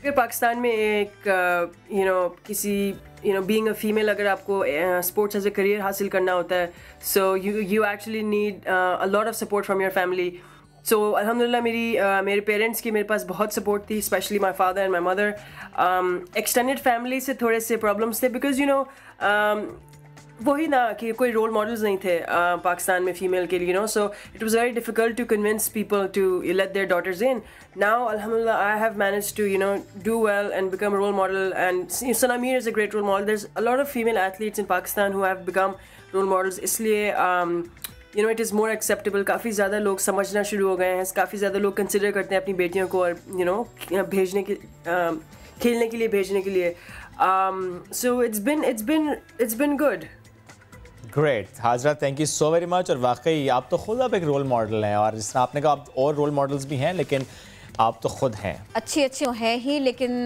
खुशी और गम साथ साथ चलते हैं। ये शायद ज़िंदगी ऐसी, इसी का नाम है। तो एक अफसोस सा खबर आई है, वो आपको दे देते हैं। मारूफ अदाकारा, जहीन ताहिरा, कराची में इंतकाल कर गई इंतहाई अफसोसनाक खबर है ये। उन्होंने अपने पूरे करियर में उन्होंने खुदा की बस्ती से अगर देखा जाए तो प्रोमिनेंट रोल्स वहाँ से किए। उसके बाद में कौन सा किरदार ऐसा था जो उन्होंने अदा किया और आपकी आँखों में आँसू नहीं आए? सबसे अच्छी वालदा वो बनती थी, सबसे अच्छी सास वो होती थी, दादी वो अच्छी, सबसे बेटी वो रही सबसे अच्छी। लेकिन अब ये इंतहाई अफसोस ना खबर आई है। उनके भांजे मोहम्मद अली हमारे साथ हैं, उनसे बात कर लेते हैं। मोहम्मद अली, इंतहाई अफसोस हुआ। बहुत दिनों से उनकी तबीयत बहुत ख़राब थी। और जब जब ये ये ख़बर रूमर्स ये आते थे कि उनकी तबीयत बहुत ख़राब है और उनका इंतकाल हो गया है हम बार बार रोए हैं इसके ऊपर। लेकिन अब लगता है कि ये ये सचमुच का रोना चंद लम्हों का नहीं है अब सारी ज़िंदगी का रोना रह गया। आप आप मेरी बात सुन रहे हैं? जी मैं बिल्कुल सुन रहा हूँ आपकी बात। ये मुझे बता सकते हैं आप कितनी तबीयत उनकी ख़राब रही कितने दिन वो हॉस्पिटलाइज रही? जी तकरीबन बारह तेरह दिन ही हॉस्पिटलाइज रही थी और फिर घर भी आगे से डिस्चार्ज हुई मगर कल रात को अचानक इनकी तबीयत ख़राब हुई। तो हॉस्पिटल लेकर इनको गए लेकिन हार्ट अटैक हुआ था वो सीवियर हार्ट अटैक था तो फिर ये इंतकाल हो गया। सुबह चार बजे आज। और नमाज़ जनाजा के हवाले से कुछ अभी तय कर लिया? सॉरी नमाज़ जनाजा आज कितने बजे होगी? कुछ इस मामले में बता सके? नमाज़ जनाजा अभी कंफर्म नहीं है क्योंकि उनके बेटे जो छोटे वाले थे वो अमेरिका चले गए थे सुबह चार बजे की ही फ़्लाइट थी उनकी। तो अब ये है कि वो वापस अगर आए इस वक्त तो फिर शायद आज ही हो जाए लेकिन अभी कुछ कंफर्म नहीं है कि आज होगी कि कल होगी। अच्छा अगर आप मुनासिब जाने तो क्या आप मुझे बता सकते हैं? वो बातचीत कर रही थी। जी बिल्कुल हॉस्पिटल जब लेकर आए तब भी वो बाकायदा खुश आवाज़ में थी बात कर रही थी सब नॉर्मल था। लेकिन ये कि थोड़ी देर बाद फिर डॉक्टर्स ने बताया कि उनके साथ ये प्रॉब्लम हो गई तो उनका इंतकाल हो गया। अल्लाह आप लोगों को सब्र दे और आप यकीन कीजिए हमें भी बहुत दुख है इस बात का। और पूरे पाकिस्तान को। जहाँ जहाँ उर्दू बोली, लिखी, पढ़ी, देखी, समझी जाती है, वहाँ वहाँ पर इस ख़बर से लोगों को तकलीफ़ होगी। बेहद शुक्रिया। आप इन अवकात में भी, इस वक्त भी आप हमको, इस सिलसिले में हमसे बात कर रहे थे। शुक्रिया, मोहम्मद अली। और आगे आगे बढ़ते हैं और ज़िक्र करेंगे आज एक और मौजूद जो सिलेक्ट किया हमने सी पैक जिसे गेम चेंजर समझा जाता है है। लेकिन वो मैं कहाँ गया, मनसूबा? उसका ज़िक्र क्यों नहीं होता? हुकूमत बदलते ही क्या गेम चेंजर मनसूबा वो भी बदल गया है। तो इस पर बात करते हैं। हमें ज्वाइन किया है project director CPEC Hasan Dawood साहब ने। हसन साहब, बहुत शुक्रिया। सर सी पैक मुझे बता सकते हैं करंटली किस फ़ेज़ में है? जी सी पैक का जो फ़र्स्ट फ़ेज़ था या जिसे most commonly early harvest phase कहते हैं, वो कंप्लीट हो गया और अब सेक्स शुरू हो गया है।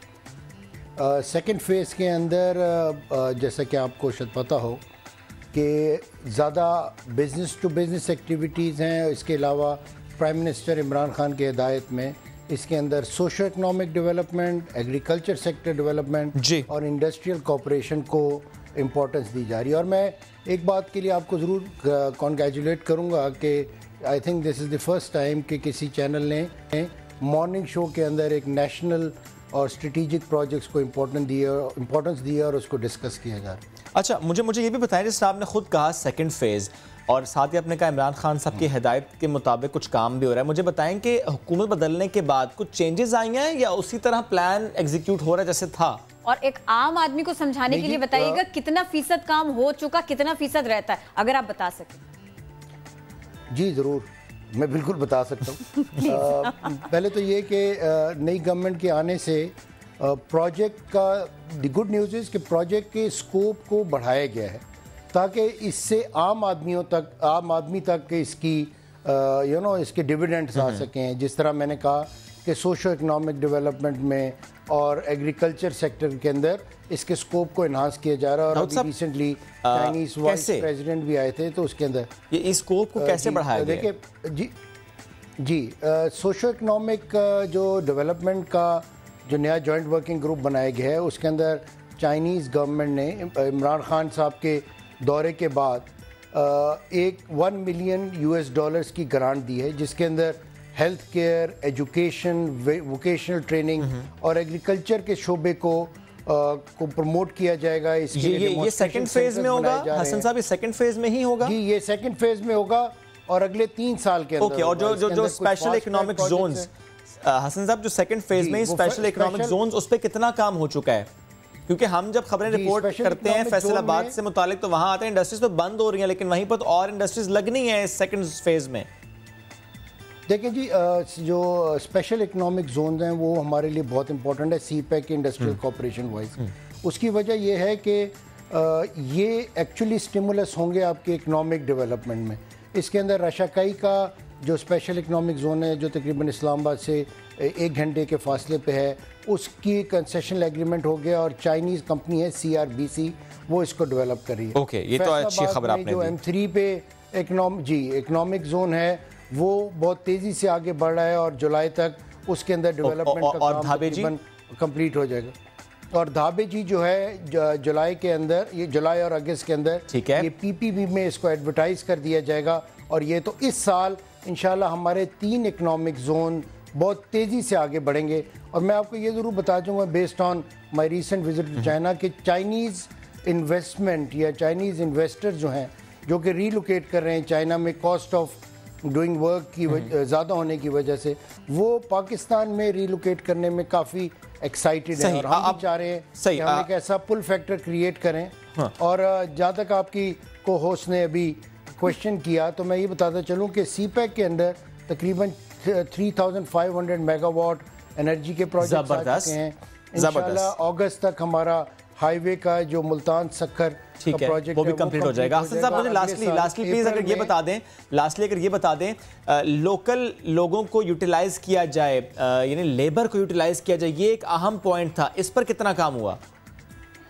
जी इस पर बहुत ज़्यादा पेशरफ हुई है और जितने भी हमारे प्रोजेक्ट्स हो रहे हैं उसके अंदर हम ये कोशिश कर रहे हैं you know as part of contract और एक्चुअल इम्प्लीमेंटेशन में कि 70 परसेंट पाकिस्तानी एम्प्लॉयमेंट मैं आपको ये इस मौके का फ़ायदा उठाते हुए ज़रूर बता चलूँ बताता चलूँ कि इस वक्त तक जो अर्ली हार्वेस्ट प्रोजेक्ट्स हुए हैं उसमें 80,000 पाकिस्तानी डायरेक्ट एम्प्लॉय हुए इनडायरेक्ट तो इसके अलावा डायरेक्ट एम्प्लॉय हुए हैं क्योंकि हमारा एक्सपीरियंस अच्छा है इंफ्रास्ट्रक्चर में। और मैं आपको ये एक और इम्पोर्टेंट आपके प्रोग्राम के तवसत से बताता चलूँ कि इस वक्त तकरीबन 22 प्रोजेक्ट्स हैं जो कि अंडर इम्प्लीमेंटेशन है जिनकी टोटल लागत तकरीबन 28 बिलियन यूएस डॉलर बनती है। इसमें से 15 प्रोजेक्ट्स एनर्जी के हैं जी जी। और जिसके अंदर रिन्यूएबल है। तो सी ने जो बहुत अच्छी चीज़ एनर्जी सेक्टर में की कि वो थर के प्रोजेक्ट्स को मेन स्ट्रीम में ले आया है और उसमें बहुत ज़्यादा एक्साइटमेंट है। थैंक यू हमारी कनेक्टिविटी के के एच के साथ बढ़ गई। हसन दाऊद साहब थैंक यू वेरी मच बात बिल्कुल आधी रह गई। इसके ऊपर तो जितनी मालूम मिले उतना कम है। बहुत शुक्रिया आप हमारे साथ थे। हमें क्विकली एक ब्रेक लेना पड़ेगा। वापस आते हैं। रहिए हमारे साथ।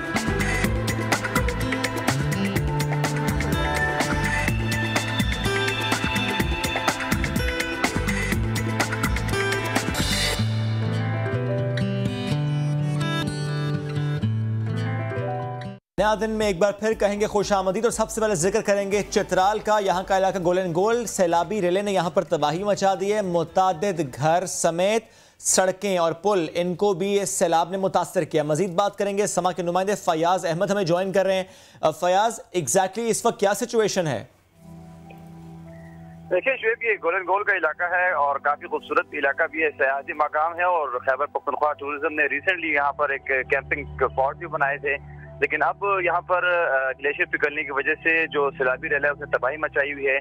500 से जायद आबादी का ये गाँव है, जहाँ पर इस वक्त सड़कें टूट चुकी हैं। पुल जितने भी बनाई गई थी, वो भी बह गई हैं और साथ साथ जो कम्युनिकेशन सिस्टम है, जो जमीनी रबता है, मुकम्मल तौर पर चित्राल से कट ऑफ़ हो चुका है। इस वक्त जो है, जो वहाँ के जो लोग मुतासर से शदीद ज़्यादा जो गाँव मुतासर थे, वो लोग वहाँ से नकल मकानी कर चुके हैं और साथ साथ जो सयाह वहाँ पे फंसे हुए थे, गुजशत रात, उनको भी वहाँ से रेस्क्यू किया गया। ये बताया जा रहा है कि कुछ सयाह जो है वो अभी भी वहाँ पर महसूर हैं और ज़िले इंतजामिया भरपूर कोशिश कर रही है कि उनको वहाँ से रेस्क्यू कर लेता पीडीए में और जो रेस्क्यू की टीमें हैं वहाँ पर पहुँच चुकी हैं। रिलीफ कल जो है पहुँचा दिया गया है। अब ज़िले इंतजामिया के मुताबिक जो है वो दोबारा जो है हेली के ज़रिए रिलीफ मेडिसिन और दीगर जो ज़रूरत की चीज़ें हैं वो पहुंचाई जाएँगी।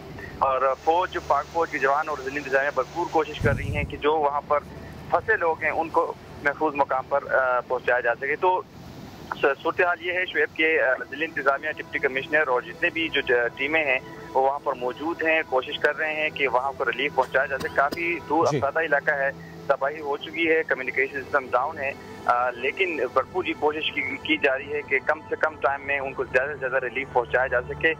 इलाका काफ़ी फासलग है और जो देखा जा रहा है कि जंगलात में क्योंकि अक्सर वहाँ पर ट्रैकिंग के लिए सयाह जाते हैं तो कोशिश ये की जा रही है ये भी देखा जा सके कि आया कोई सयाह वहाँ पर मौजूद है कि नहीं ताकि रिलीफ का जो काम है वो उसे मुकम्मल किया जा सके। बहुत शुक्रिया फयाज आप हमें अपडेट कर रहे थे। सैलाबी सूरत हाल से मुतक मोटापे से निजात के लिए लाहौर में जेर इलाज नूरुल हसन इंतकाल कर गए। इंतकाल की वजह क्या थी? अस्पताल इंतज़ामिया बार बार मौक़ बदलती रही। आर्मी चीफ ने उनके इंतकाल पर अफसोस का इजहार किया। उनके इलाज की कोशिशें भी इन्होंने की थी तीन सौ तीस किलो वजनी नूरुल हसन। इनकी दो हफ़्ता कबल सर्जरी की गई। डॉक्टर्स पुरुद थे कि वो जल्द नॉर्मल ज़िंदगी की तरफ़ लौट आएँगे। वो खुद भी बहुत खुश थे मुतमिन थे। अस्पताल इंतज़ामिया का कहना है, सुबह एक मरीज़ा ऑपरेशन के दौरान चल बसी थी, जिसके बाद उनके लवाकिन ने आईसीयू में तोड़ फोड़ की और यही कुछ वजह बनी नूर की मौत की। दूसरी तरफ़ मरीज़ा के लवाकिन का कहना है, डॉक्टर्स बिला वजह नूर की मौत की ज़िम्मेदारी इन पर डाल रहे हैं। नूरुल हसन के लवाहिकीन भी अस्पताल में ही थे। किसी हंगामा आरई से मुतक लाइलमी का इजहार वो करते रहे। हेल्थ केयर कमीशन की टीम ब्रिगेडियर शाहिद की सरबराही में नूर की मौत की वजह जानने के लिए अब तहकीक़ात कर रही है। नूरुल हसन, इनके भाई फारूक हमें ज्वाइन कर रहे हैं। उनसे बात करेंगे। फ़ारूक अफसोसना खबर कल रिपोर्ट हुई। लेकिन मैं जानना चाह रहा हूँ आपसे नूरुल हसन का अचानक इंतकाल हुआ यह खबर आई। तो मैं चाह रहा हूँ आप मुझे बताएँ उनकी तबीयत कैसी थी उनका जो ऑपरेशन हुआ था उससे मुताल डॉक्टर्स ने क्या कहा था? ये तो बेटा उधर लाहौर में था।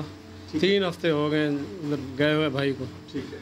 और इलाज भी हो गया ऑपरेशन अच्छी तरीके से हो गया। डॉक्टर साहब की बड़ी मेहरबानी और चीफ आर्मी की बहुत मेहरबानी और मीडिया वाले की बहुत मेहरबानी जिन्होंने तावन किया हमारे साथ। और अल्लाह को जैसे मंजूर था भाई का सुबह कह रहे हैं आठ बजे जो है वो उसने दम दे दिया। हुकूमत से कोई मुतालबा करना चाहेंगे? क्या कहेंगे इस पर? अल्लाह उसको जन्नत में जगह दे। और उसके बच्चे हैं पाँच बेटी हैं दो बेटे हैं बेचारे के। उनका कोई तामन किया जाएगा कोई मीडिया वाले या चीफ आर्मी स्टाफ वालों जो भी करेंगे उस बेचारे की गरीब बेटियाँ बेटे हैं उनके लिए जो तामन करेंगे उनकी मेहरबानी होगी। बहुत शुक्रिया फ़ारूक साहब। साथ आप मौजूद थे और नूरुल हसन के से ही मुतालिक हम मज़ीद बात करते हैं, जिन्होंने इलाज किया था नूरुल हसन का डॉक्टर मौज़म उन्होंने हमें ज्वाइन किया। डॉक्टर मौज़म ये अचानक क्या हुआ था कि नूरुल हसन, जिनके ऑपरेशन से मुतक आपकी तरफ़ से ही कहा गया था कि ऑपरेशन सक्सेसफुल है, जल्द अपनी रूटीन की तरफ़ वो बहाल हो जाएँगे तो फिर अचानक से क्या हुआ? तबीयत बिगड़ गई, कैसे हुआ ये सब कुछ? कि मैंने इतने इतने केस किए हैं मतलब और इससे हैवी भी किए हैं। अलहमदिल्ला सब ठीक ठाक हो गए हैं बस अनफॉर्चुनेटली इसके साथ इस तरह हुआ है और ये बड़ा अच्छा इसकी रिकवरी थी। और इंशाल्लाह इसने ठीक हो जाना था। अस्पताल इंतजामिया का कहना है कि लड़ाई झगड़ा हुआ था और झगड़ा करने वाले नूरुल हसन की मौत की वजह बने। क्या ये बात सच नहीं कि नूर का इंतकाल हार्ट अटैक से हुआ है? हर चीज़ तो ठीक जा रही थी। और रात को मतलब मतलब वो ठीक भी था हर चीज़ मतलब बेहतरी की तरफ़ थी। सडनली जो एकदम कलेप्स हुआ है। अब उसमें यह है कि अब मैं मतलब ऑब्वियसली एक कमेटी बन गई है, वो आप इन्वेस्टिगेशन कर रही है। इसको दे न दें कि यहाँ से क्या रिपोर्ट आती है। सही, अब क्या रिपोर्ट आती है? क्योंकि तहकीकात से मुतालिक भी खबरें आ रही हैं कि तहकीकात होनी चाहिए बिकॉज़ जो लड़ाई झगड़े से मुतालिक ख़बर रिपोर्ट होती है उससे मुतालिक कहा जाता है जो नूरुल हसन के लवाहिकीन हैं वो भी कैसा मामला उन्होंने देखा नहीं साथ ही मरीज़ा के लवाहिकीन जिनसे मुतालिक कहा जा रहा है कि वो लड़ाई झगड़ा कर रहे थे उन्होंने भी कहा कि हम पे बिला वजह डाला जाए और, और बात ये भी है कि लड़ाई झगड़े से पहले ही इंतकाल हो चुका था एक इस सारे सिलसिले में खबर ये भी है। इसीलिए तहकीकत हो रही है डॉक्टर साहब से भी हमने बात की नया दिन के नाजरीन के साथ। एग्जैक्टली आगे बढ़ते हैं और एक ख़बर आपसे शेयर करेंगे। कराची का इलाका नॉर्थ नाजिमाबाद। यहाँ पर शादी हॉल के बाहर का मंज़र हम आपको दिखा रहे हैं, लेकिन थोड़ा कोशिश करेंगे ब्लर करके आपको दिखाएँ। क्योंकि बहुत तकलीफ़ दह वीडियो है। लोहे की सीढ़ी जब तारों से टकराई, इसके बायस करंट लगने से दो मज़दूर जाँ बहक हो गए। शादी हॉल के बाहर काम करते हुए लसबेला का रिहायशी मजदूर जुल्फ़िकार लोहे की सीढ़ी को दूसरे जानब ले जाने लगा तो सीढ़ी तारों से टकराते ही उसमें करंट दौड़ गया और जुल्फ़िकार को करंट लगा तो साथी मजदूर खलील वो बचाने को पहुँचा। उसने कोशिश की, किसी तरह अपने साथी को बचाए, लेकिन वो अपनी ज़िंदगी की बाजी भी हार बैठा। देखने वालों ने सीढ़ी को हटाने के लिए लकड़ी के बाँस का इंतज़ाम किया, लेकिन जब तक बहुत देर हो चुकी थी। लेकिन इस फुटेज ने कई सवालों को जन्म दिया है, यानी इसमें हम एक अगर एंगल लें, वो बेहिसी का एंगल भी है। इस पर बात करेंगे।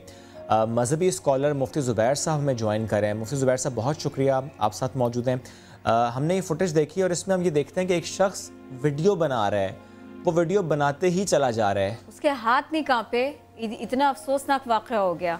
तो अगर हम इसको एक एक एग्ज़ाम्पल के तौर पर लें तो किसी की आँख के सामने वो फासले पर है। ठीक है।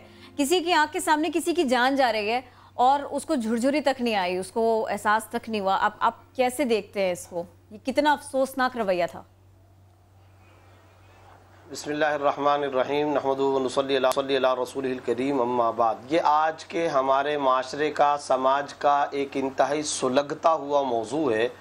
पहले ज़माने में ये होता था कि जब दो अफराद के दरमियान लड़ाई है या कोई हादसा, कोई वाक़ कोई एक्सीडेंट पेश आता था तो बाकी लोग, बाकी तमाम कामों को छोड़कर उनको बचाने के लिए और उनकी जानों की हिफाजत के लिए, उनमें सुलह कराने के लिए दौड़ पड़ते थे।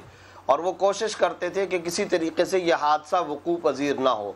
आज जिस हादसे की आप बात कर रही हैं, इस हादसे का तो मामला ये है कि चलो, ये तो एक दर्जे के अंदर गैर इख्तियारी है, या करंट लगने का मामला है लेकिन हम अपनी सोसाइटी के अंदर सुबह शाम ये आवामी रवैया देख रहे हैं कि बाकायदा दाएँ बाएँ दर्जनों अफराद का मजमा और हजूम जमा है और एक आदमी किसी पर जुल्म कर रहा है डंडों से मार। रहा है उसको हिंटर से मार रहा है उसको बाज़ात ईंटों और पत्थरों से मार रहा है ये सारे के सारे मनाजिर हमने सोशल मीडिया पर सुबह शाम देखे हैं चाहे वो सियालकोट के अंदर हाफिज कुरान बच्चों को मारने का मामला हो लाहौर की अदालत के बाहर ईंटों से किसी को मारने का वाक़ हो हम्म। ये सब कुछ सोशल मीडिया और इलेक्ट्रॉनिक मीडिया के अंदर देखा गया अफसोस की बात यह है हैरान कन बात यह है कुरान का हदीस का हुक्म इंसानियत का जो तरीका है जो अखलाक का रवैया होना चाहिए वो तो ये है कह रहे दौड़ो उसको बचाओ किसी तरीके से उसके ये हादसा दूर करो दो लड़ रहे हैं, इनके दरमियान सुलह कराओ, लेकिन सुलह के लिए हाथ नहीं उठेंगे, बचाने के लिए हाथ नहीं उठेंगे। ये पुराने जमाने की कहानी और रिवायत हो गई है। अब यह है कि बाकायदा पोज बनाकर अपने हाथों से, मोबाइल से उसकी वीडियो बनाई जाती है। और ये रवैया इस वक्त पूरे समाज के अंदर आम हो चुका है। वो जो बाल जबरील में अल्लाह इकबाल मरहूम ने कहा था, है दिल के लिए मौत मशीनों की हकूमत। एहसास मुरवत को कुचल देते हैं आलात। आज एहसास मुरवत कुचला जा चुका है।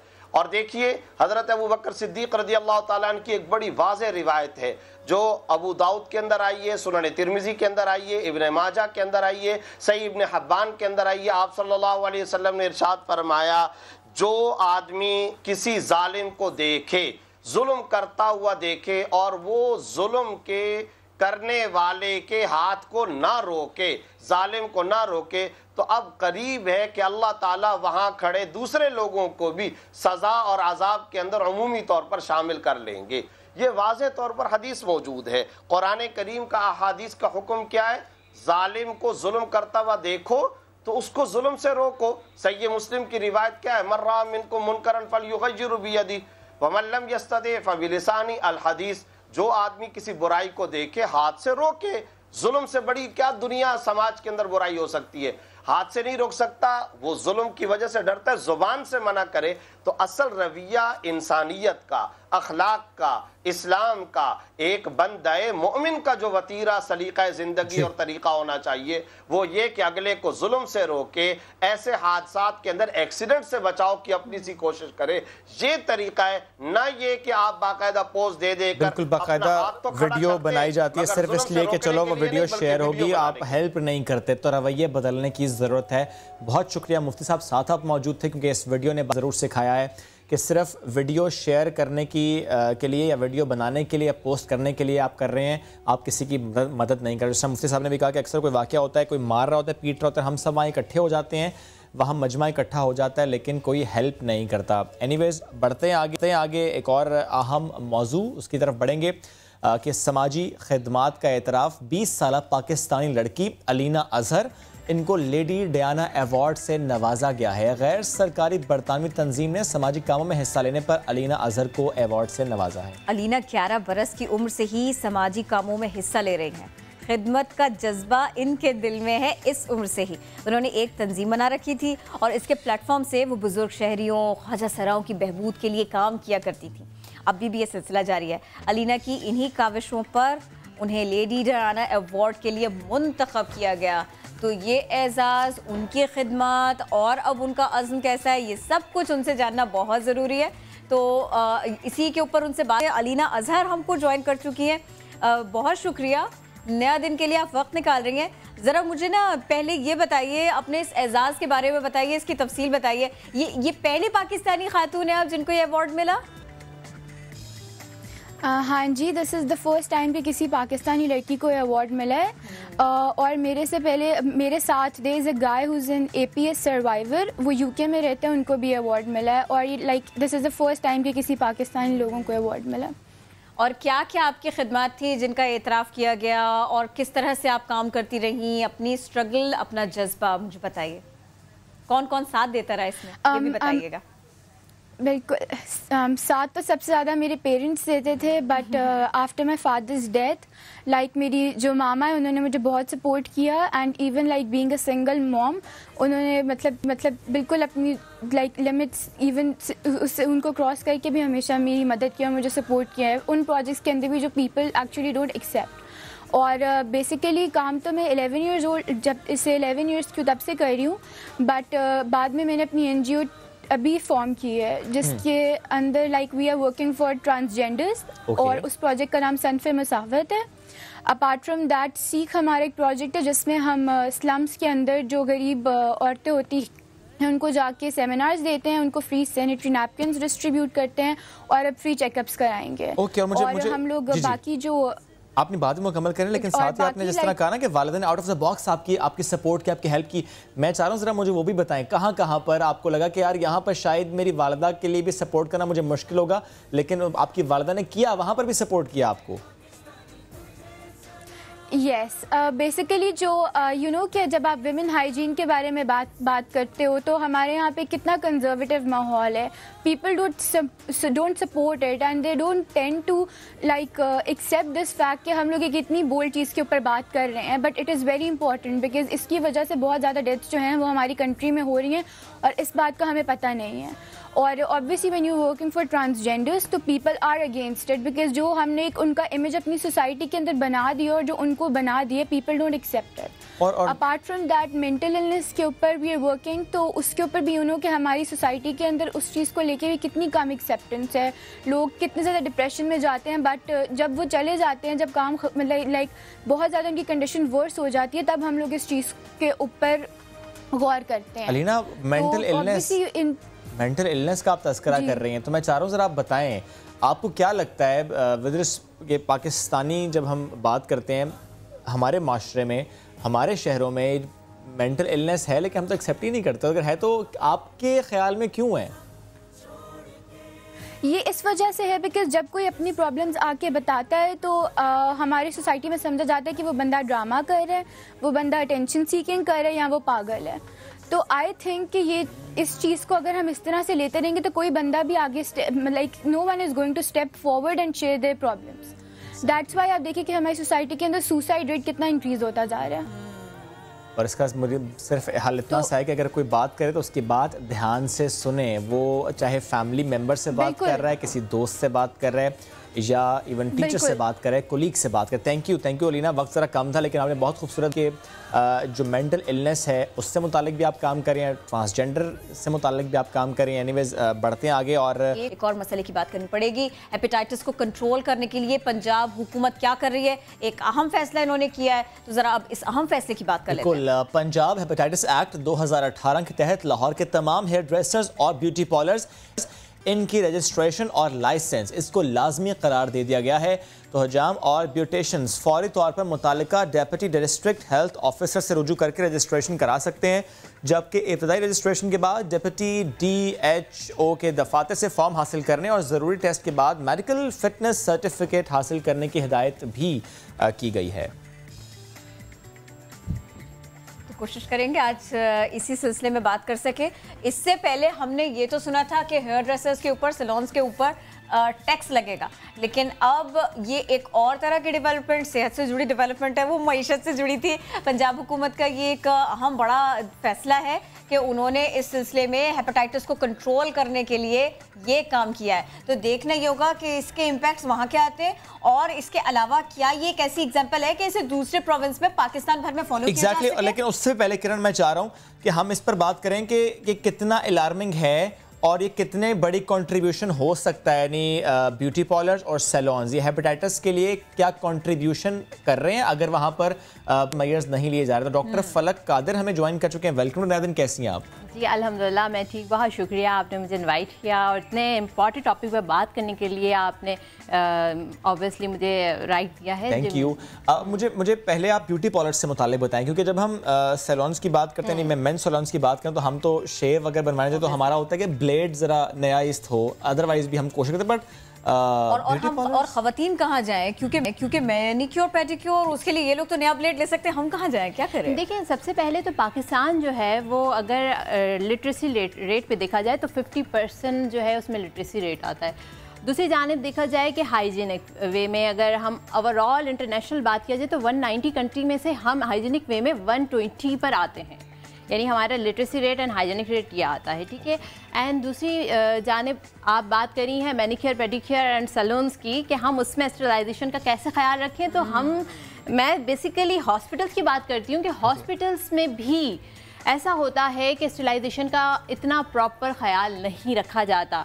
मैनिकेयर पेडिकेयर तो फिर थोड़ा ज़्यादा एडवांस हो जाता है। अब जहाँ हॉस्पिटल जहाँ बेसिक हम बात करते हैं बेसिक हेल्थ केयर की बात करते हैं वहाँ पर भी सम टाइम ऐसा होता है कि सिरेंजेस रीयूज़ हो रही होती हैं। सम टाइम जो है वो एक पेशेंट से दूसरी पेशेंट की तरफ़ इन्फेक्शन उसमें उसमें फलक हम ये देखते हैं कि एटलीस्ट कानून है विद रिस्पेक्ट टू हॉस्पिटल्स लेकिन मैं स्पेसिफिकली क्यों ब्यूटी पार्लर सैलून्स की बात करूँगी? पंजाब में एक्ट है। लेकिन हम कह रहे हैं कि बाकी सूबों में भी होना चाहिए हम्म। क्योंकि एटलीस्ट कानून तो पहले हो इम्प्लीमेंटेशन तो बात की बात है। बिल्कुल देखिए हेपेटाइटिस एक ऐसा इन्फेक्शन है इस कम्युनिकेबल डिज़ीज़ जो ब्लड के थ्रू शेयर होता है ठीक है? अच्छा आप मुझे इसे एक्सप्लेन करें हम्म। कैसे कैसे? यानी ये जो। ब्यूटी पार्लर सैलून हैं कैसे कैसे ये ट्रांसमिट हो सकता है हेपेटाइटिस का वायरस देखिए हेपेटाइटिस जो होता है वायरस है जो ब्लड में शामिल होता है ठीक है? और उसके इसके जो सिम्टम्स होते हैं वो किसी भी शख्स के अंदर अगर हैं भी यानी हेपेटाइटिस अगर किसी शख्स को हो भी चुका है तो उसके सिम्टम्स जो हैं वो इतना इजीली ज़ाहिर नहीं होते। Twenty okay. ईयर्स तक भी आपको पता नहीं चलेगा कि आप सफ़र कर रहे हो हेपेटाइटिस बी या सी से ठीक है? इतना खतरनाक बिल्कुल।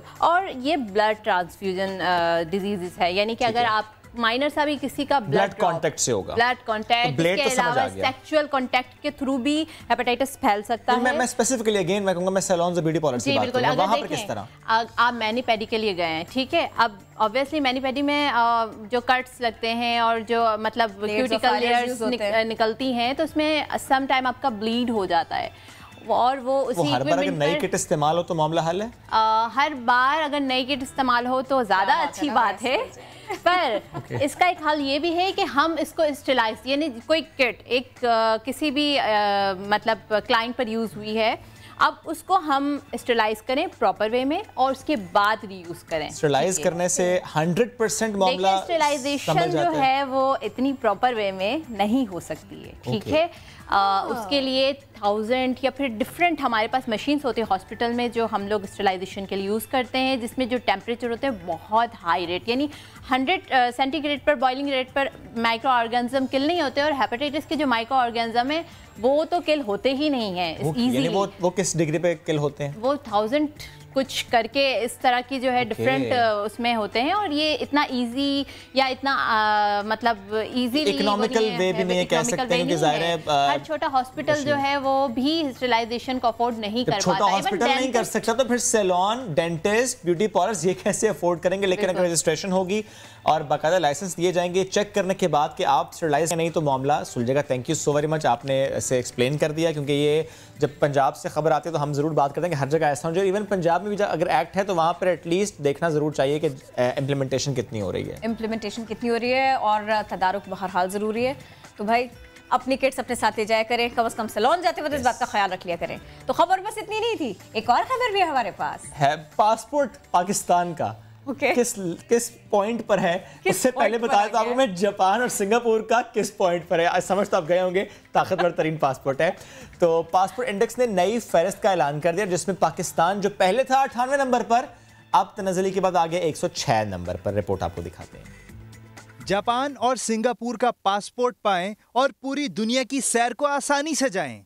हिंदले पासपोर्ट इंडेक्स की हालिया फहरिस्त में दोनों ममालिक के पासपोर्ट को ताकतवर करार दिया गया है। रवा साल भी सिंगापुर अव्वल नंबर पर बराजमान है। जापान भी इसके हमरा अव्वल नंबर है। दोनों ममालिक के लिए एक सौ उनासी ममालिक ने वीज़ा फ्री पॉलिसी अपनाई है।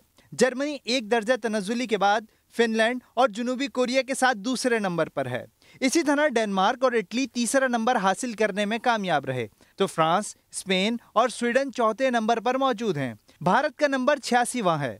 जबकि फहरिस्त में पाकिस्तान के लिए कुछ अच्छी खबर नहीं क्योंकि गुजशत साल अट्ठानवे पर रहने वाला पासपोर्ट इस बार तनजुली के बाद रैंकिंग में 106 पर चला गया जिसके बाद बिलतरतीब शाम इराक और अफ़गानिस्तान का नंबर आता है। इस रिपोर्ट में दुनिया भर के ममालिक के पासपोर्ट्स को सफ़र की आज़ादी के लिहाज से तरतीब दिया गया है। चले वहाँ चलते हैं जहाँ पासपोर्ट की ज़रूरत नहीं है यानी मंडी। मंडी। ईद कुर्बा की आमद आमद है तो ऐसे में फैसलाबाद के व्यापारी अपने तगड़े तगड़े जानवरों की तैयारियाँ वो मुकम्मल कर ली सजावट उनकी कर ली है वरना मैं सोच तैयारियाँ कौन सी? वो है सजावट की। तो मनो वजनी खूबसूरत जानवर जो है मंडी में धाक बिठाने के लिए तैयार हैं। तो चलते हैं फिर एक कैटल फॉर्म यहाँ पर मौजूद है उस्मान सिद्दीक। उस्मान बताइएगा जरा क्या माहौल है यहाँ पर? जो बिल्कुल, ईद कुर्बान की आमद आमद है तो इस हवाले से खूबसूरत और तगड़े जानवरों की तैयारी भी आखिरी मराहल में दाखिल हो चुकी है। इस वक्त हम एक ऐसे ही फार्म हाउस पे मौजूद हैं, जहाँ पे मुख्तलिफ़ नस्लों के हैवी हैवी वेट बछड़े ईद कुर्बान के लिए मुकम्मल तौर पर तैयार हो चुके हैं। मालिक जो इस फार्म हाउस के हैं, वो हमारे साथ मौजूद हैं। उनसे जान लेते हैं इरफान भाई, बछड़े आपने तैयार कर लिए, काफ़ी खूबसूरत हैं। सबसे पहले तो ये बताएँ कितनी तैयारी इनकी करते हैं क्या क्या आप इनको खिलाते हैं? इनकी हम स्पेशल फ़ीड तैयार करते हैं, जो जिनसे ये वज़न हासिल करते हैं। तो इसको, इसके अलावा ऑयल्स मिनरल्स होते हैं स्पेशल वो इनको देते हैं। और सैलेज तो हम एक्सपेक्ट कर रहे हैं, इनसे जो चार हैं, वो 50 प्लस 50 मन प्लस होंगे, इंशाल्लाह। जी, बिल्कुल, मुख्तलिफ़ नस्लों के तो ये बछड़े हैं ही, लेकिन इनके वज़न भी काफ़ी ज़्यादा है। 50 से 60 मन के करीब एक बछड़ा है, और जो इनके मालिक हैं, उनके मुताबिक बच्चों की तरह इनको चार साल तक पाला जाता है। चार साल के बाद जो है, ये बछड़े मंडी में ले जाए जाते हैं, और हर साल ये सिलसिला जारी है। जानवर काफ़ी ज़्यादा खूबसूरत हैं, जो ईद कुर्बान के लिए तैयार हो चुके हैं, और अपने ग्राहकों के अब मुंतजर हैं। बहुत शुक्रिया। आप हमारे साथ उस्मान हमेशा पहल कर लेते हैं। आपने रुके मैं बताऊँगी मैं मंडी पहले जाना चाह रहा था मैं वापस भी पहले आना चाह रहा था। मैं आपको मंडी भेजूँगी डोंट वरी मुल्क भर में ईद उल अजहा के लिए मवेशी मंडियाँ तो सस्ती जा रही हैं। साथ ही कुर्बानी के जानवरों को मंडी सोशल मीडिया पर भी देखा जा सकता है। सोशल मीडिया मंडी ये भी लगी हुई है। लोग अपने मवेशियों के साथ वीडियोस बना रहे हैं शेयर कर रहे हैं। तो कुछ वीडियोस हैं हमारे पास वो हम आपको दिखाते हैं। जी बात है मतलब जान लो जान लो कि भी टिकटॉक चलो कोई बात नहीं आगे बढ़ते हैं। अब जो जो टिकटॉक बनाएगा मैं उसकी वीडियो याद दिलाऊँगी। एग्जैक्ट लेकिन अब मैंने आपके साथ मुलाकात करानी है बड़ी ही ज़बरदस्त खातून से और उनके बेटे से। माँ और बेटा इनके खानों की कराची में धूम है। और अपने लोग बेटे आते के हैं हमरा हाथ चाट चाट के खाते यस हैं। और बेटे के हमरा सड़क पर मज़ेदार पकवान फ़रोख करके घर का खर्च चलाने वाली अम्मा जी मेहनत में अजमत की मिसाल हैं। कुछ मनासिर भी हम आपको दिखा रहे हैं तो आज ज़रा इनसे मुलाकात करते हैं। हमें ज्वाइन किया है सलमा ज़ुबैर ने और मोहम्मद जैन ने। तो उनसे हम बात करेंगे। अस्सलाम वालेकुम कैसे हैं आप लोग? लगता है आज आपको थोड़ी देर करा दी है हमने क्योंकि ये वक्त शायद आपका खाना बनाने का होता है। तो सुबह कब हो जाती है? कितनी मेहनत करते हैं? फिर उसके बाद में कब जाते हैं? फिर रिस्पॉन्स कैसा मिलता है? मुझे अगर ये सब कुछ आप बता सकें। एक सांस में ना बताएँ कोई बात नहीं। प्लीज़ बताइए। सुबह तो छः साढ़े छः बजे लग जाते हैं काम में। मैं और मेरी बहुएँ भी हैं दोनों। सब एक साथ लग जाती हैं हम लोग काम में। वाह। बच्चे स्कूल भी तैयार कर रहे होते हैं और सारा काम चल रहा होता है। ओके। किचन में। और छुट्टी कब तक हो जाती है? छुट्टी साढ़े ग्यारह। अच्छा। और उसके बाद? साढ़े ग्यारह बजे बस नीचे उतर जाते हैं सारा सामान लेकर। ओके आप और जुबैर। आप और जैन। जैन और मैं हूँ मेरे साथ दो भाई और हैं। ओके मेरी हेल्प साथ- कितना अरसा हो गया? कितनी हेल्प करते हैं? एक मिनट कितनी हेल्प करते हैं? हेल्प इस तरह से करते हैं कि हम लोग स्टॉल एक्टिव करते हैं अपना। किचन में कोई पार्टिसिपेशन नहीं है। किचन में कोई सारा काम तो माँ जी और लगाए बहनें ना। कर रही हैं। हाँ, हाँ ये होता है। सेलिंग में हम लोग जो है वो सपोर्ट करते हैं अम्मी के साथ। वेरी नाइस सबसे ज़्यादा शौक से खाया के जाता है? सबसे ज़्यादा हमारे पास फ़ेमस जो है कड़ी कड़ी बहुत फ़ेमस है। जैन कड़ी तो हमें भी खानी चाहिए। लग रहा है। दाल अच्छा कितना अरसा हो गया जैन मुझे भी बताएँ। तकरीबन एक साल होने को आ गया। एक साल हो गया। लास्ट हमने रमज़ान में स्टार्ट किया था। ओके अब मुझे थोड़ा सा रिएक्शंस और रिस्पांस का भी बताएँ। जो लोग वहाँ पर आते हैं और खाना खा देखते हैं कि माँ और बेटा जैसे आपके दोनों भाई वो इकट्ठा वहाँ पे मौजूद हैं और घर का अम्मा जी का ढाबा फेवरेट भी होता जा रहा है। जी ज़्यादातर अम्मी की वजह से ही लोग माशाल्लाह से बहुत आते हैं। उसके अलावा है। पहली दफ़ा जो है वो चेक करते हैं कि क्या चीज़ है किस तरह से है। तो उनको ये भी आसानी हो जाती है कि हमारे पास हाफ़ प्लेट्स भी होती हैं। Okay. तो चेकिंग के लिए उनको आसानी हो जाती है कि कोई भी चीज़ मेरा तो हाफ़ प्लेट में पूरा काम हो जाए। तीस का सालन देते हैं तीस रुपए का सालन देते हैं दो तीस रुपए में कैसे पचास मुझे बताएँ अम्मा जी तीस रुपए में आप सालन दे रही हैं ये तीस रुपए में बन जाता है? क्योंकि हम तो जहाँ पर भी जाएँ वहाँ पे इतने पैसों में मिलता है नहीं दालें वगैरह सब्ज़ी है बस थोड़ा देते हैं फिर वो तीस अगर कोई गोश्त का कोई ऐसा आइटम होता है तो सिक्सटी रुपीज़ की हाफ़ प्लेट है। ओके।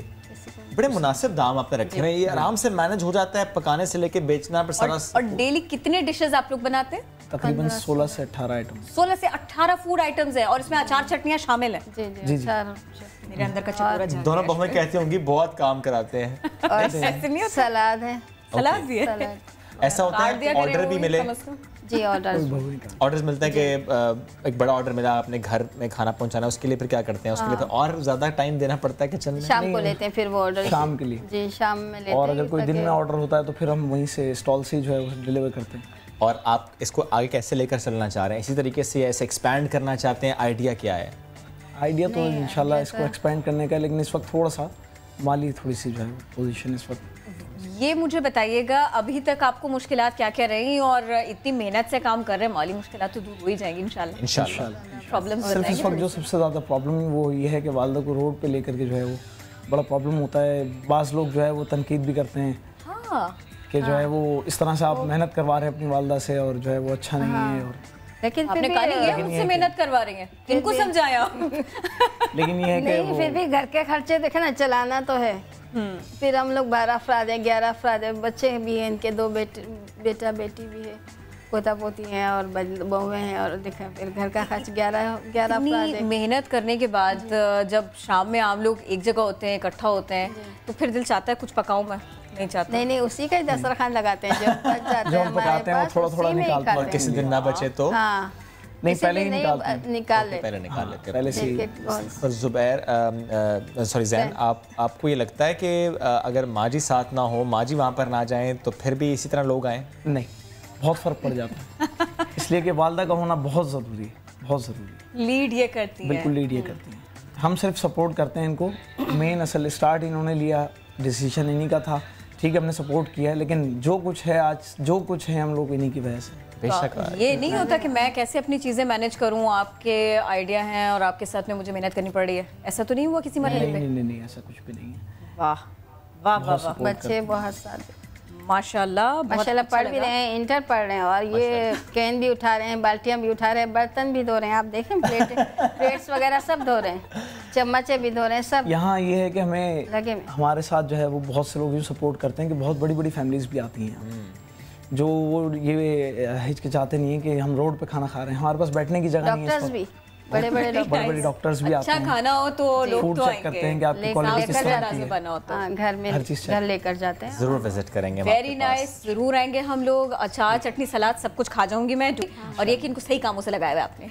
थैंक यू सब बच्चों इस तरह काम करना चाहिए। Thank you so very much आप लोग हमारे पास आए और अपने इस आइडिया के बारे में और अपने स्ट्रॉन्ग होते हुए दिन ब दिन बिज़नेस के बारे में आपने हमको बताया। तो भाई ये कुछ करने जा रहे हैं। ये इसको एक्सपेंड करने जा रहे हैं। और अब देखिए कि आगे जाके होता क्या है। अब हम आपको उस शहर के बारे में बताएँगे, जो आगे बढ़ रहा है, तरक्की कर रहा है, लेकिन उसका शानदार माजी है और वो साया, जो औलिया कराम का है, वो उसके सर पर है। बिल्कुल, मुल्तान जहाँ हज़ारों साल पुरानी सकाफत इस पर मुतद हमले हुए, लेकिन आज भी ये शहर अपने अंदर एक तारीख छुपाए हुए रिपोर्ट देखिए।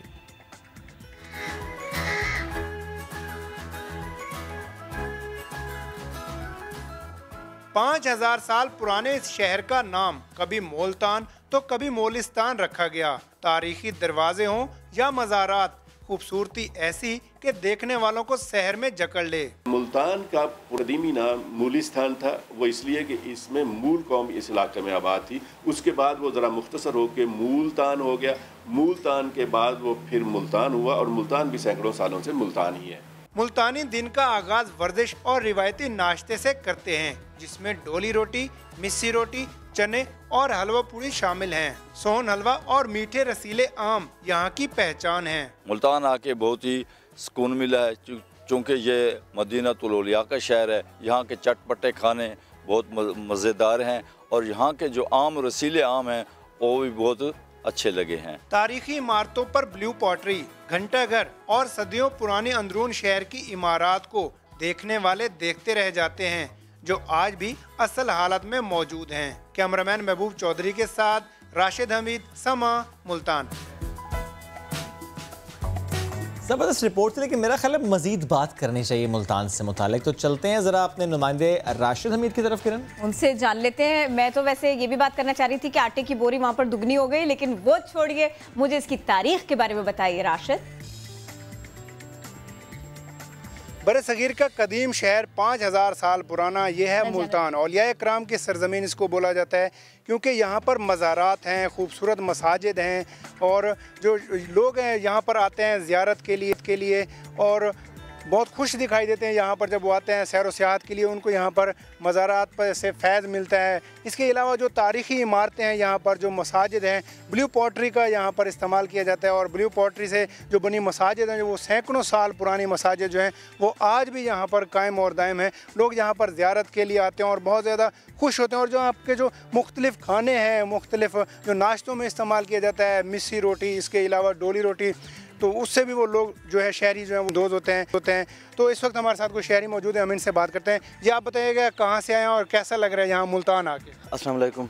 डे खान से आए हैं, स्पेशली ये मुल्तान के हिस्टोरिकल जो प्लेसेस हैं अपना औलिया कराम की मज़ारात हैं, उन पे हाज़िरी देने के लिए और रूहानी सुकून हासिल करने के लिए। और मुल्तान के जो डिशेज़ हैं, खाने हैं, वो खाएँ, बहुत मज़ा बेहतरीन चटपटे।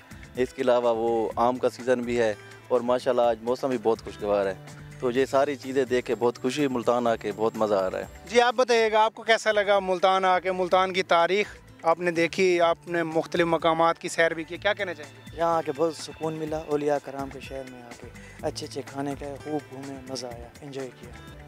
जी बिल्कुल जैसा कि आपने सुना कि इनका यही कहना है कि मुख्तलिफ़ मकाम की इन्होंने सैर की है।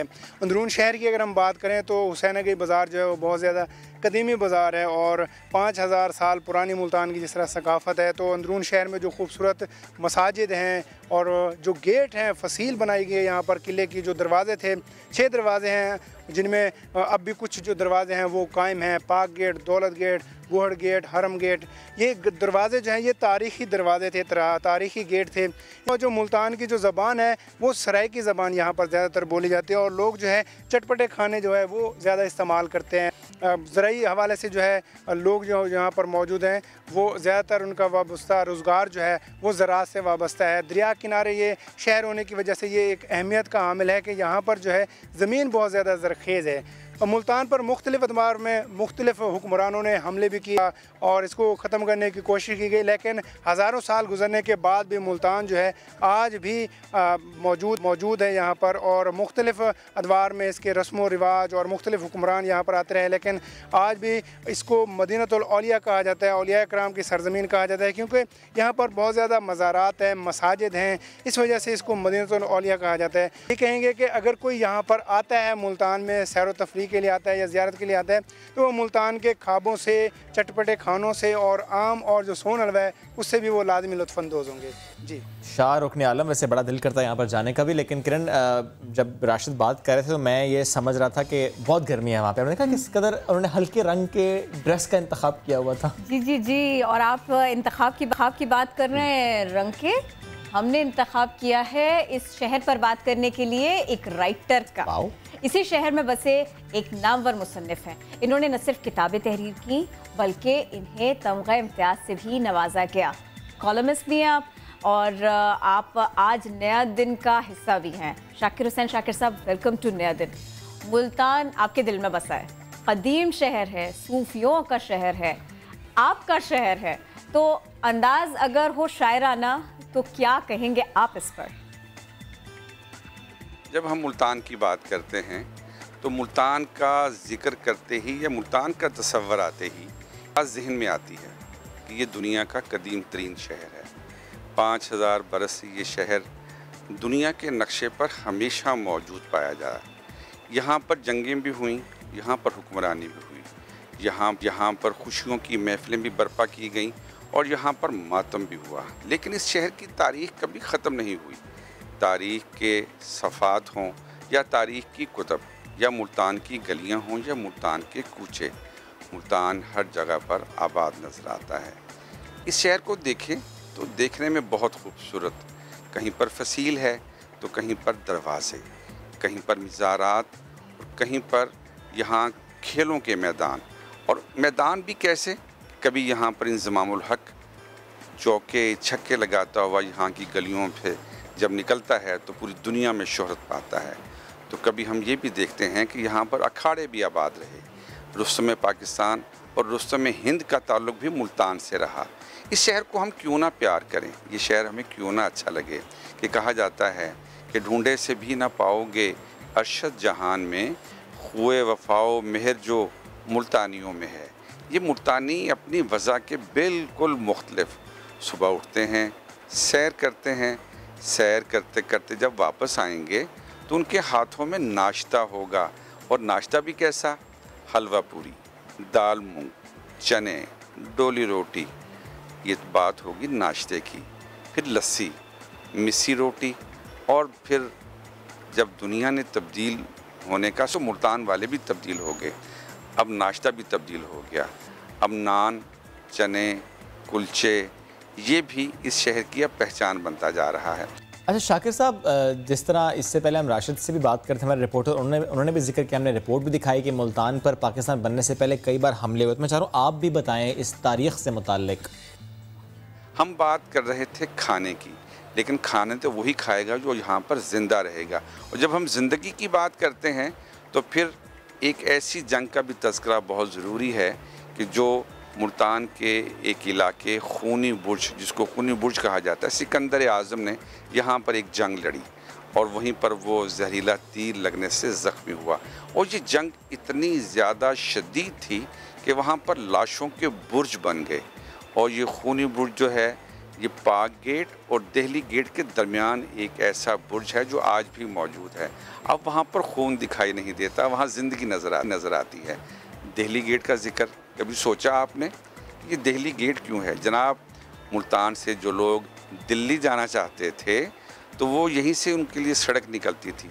आज भी मौजूद है। अगर हम बिहाड़ी मेलसी की तरफ़ जाएँ तो कहीं कहीं पर कोई संगे मील नज़र आ जाता है। पुराना लगा हुआ कि दिल्ली इतने किलोमीटर।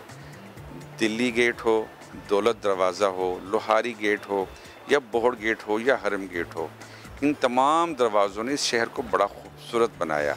अगरचे कुछ दरवाज़े मौजूद हैं और कुछ दरवाज़े मुनहदम हो चुके हैं, लेकिन मैं समझता हूँ कि इस दरवाज़ों की वजह से मुल्तान हमेशा महफूज रहा। जब जंगें होती थी, हमलावर शहर पर हमला करते थे तो ये दरवाजे रात को बंद कर दिए जाते थे। अच्छा मुल्तान को याद रखने के, या फिर मैं यूँ कहूँ कि गूगल पर सर्च करने के कई बहाने हैं। और अगर बात की जाए ना लंबी खबरों की तो ये भी एक वजह है कि लोग इसके बारे में भी जानना चाहते हैं। आप हमें बताइए ना इस बारे में कुछ, इस मामले पर कुछ। जब हम गोरिस्तान की बात करते हैं तो यहाँ हमें गाहे गाहे कहीं ना कहीं पर बहुत लंबी कब्रें नज़र आती हैं। लोग पूछते हैं कि इन कब्रों में जो लोग दफन हैं क्या वो इतने लंबे थे? नहीं जनाब अकीदत जितनी ज़्यादा होती थी उस ज़माने में उतनी ही लंबी कब्र बना दिया करते थे। हज़रत शाह शम्स सब्जवारी की कब्र देखें हज़रत बहुद्दीन ज़करिया का मज़ार देखें या हज़रत शाह रुकन आलम की कब्र देखें वो मामूल की कब्रों से ज़्यादा लंबी कब्रें हैं। मोहब्बत का इजहार जब दफन करते थे उनके प्यारे तो उसी एतबार से उनकी कब्र भी लंबी बना दिया करते थे। कहीं पर नौ गजी कब्र है और कहीं पर इक्कीस गजी कब्र है। बहुत शुक्रिया। कॉलमिस्ट हैं आप राइटर हैं आप, शाकिर हुसैन शाकिर साहब, आप हमको मुल्तान और पहलुओं के बारे में बता रहे थे।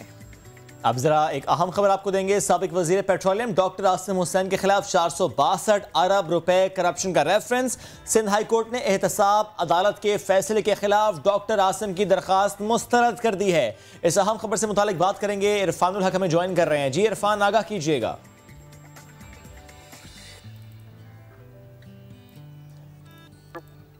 इरफान, क्या आपको आवाज़ आ रही है? इरफान से रबा करेंगे सबक वजी पेट्रोलियम डॉक्टर आसिम हुसैन के खिलाफ चार सौ बासठ अरब रुपए करप्शन का रेफरेंस। से मुतल खबर यह है कि सिंध हाई कोर्ट ने एहतसाब अदालत के फैसले के खिलाफ डॉक्टर आसिम की दरखास्त मुस्तरद कर दी। इरफान, आगाह कीजिएगा। जी, शोएब, ये बासठ अरब रुपए करप्शन का जो रेफरेंस है, ये एहतसाब अदालत में जेर अल्तवा है। इस हवाले से डॉक्टर आसिम ने एक दरख्वास्त दायर की थी, जिसमें कहा गया था कि जो कंपटीशन कमीशन ऑफ़ पाकिस्तान है, उसने एक रिपोर्ट तैयार की थी 2012 में पीपल्स पार्टी के दौरे हुकूमत में, जो खाद मंगवाई गई थी, जिसके बारे में कहा गया है कि उसमें बड़े पैमाने पर अरबों रुपए की करप्शन हुई है। उस रिपोर्ट को और उस फैसले को रेफरेंस का हिस्सा बनाया जाए। इस दरख्वास्त के खिलाफ जो एहतसाब अदालत का फैसला था उसको सिन्हाई कोर्ट ने बरकरार रखा है और जो एहतसाब अदालत के फैसले को चैलेंज किया गया था उस अपील को मुस्तरद किया है। अदालत ने करार दिया है कि जो रेफरेंस मैप की जानी से तैयार किया गया है उसी के मुताबिक कार्रवाई जारी रखी जाए। शुक्रिया इरफान आपने अपडेट किया। कुछ दिलचस्प खबरें भी आपको दे देते हैं, कुछ तस्वीरें आपसे शेयर कर लेते हैं। पालतू जानवरों की बहुत सी खूबसूरत और मासूमाना तस्वीर आपने देखी होंगी। लेकिन हम आपको दिखाते हैं, मुख्तलिफ़ सोशल मीडिया सार्फिन की जानब से शेयर की गई पालतू जानवरों की ऐसी अजीब व गरीब तस्वीर। जिन्हें देखकर आप भी हैरान हो जाएँगे। चंद दिन पहले एक सोशल मीडिया सारिफ ने अपने पालतू जानवर की तस्वीर पोस्ट की और लिखा कि पालतू जानवरों से इजहार मोहब्बत के लिए सिर्फ़ अच्छी पिक्चर्स पोस्ट करना ही काफ़ी नहीं पालतू जानवरों का हर अंदाज पसंद किया जाना चाहिए।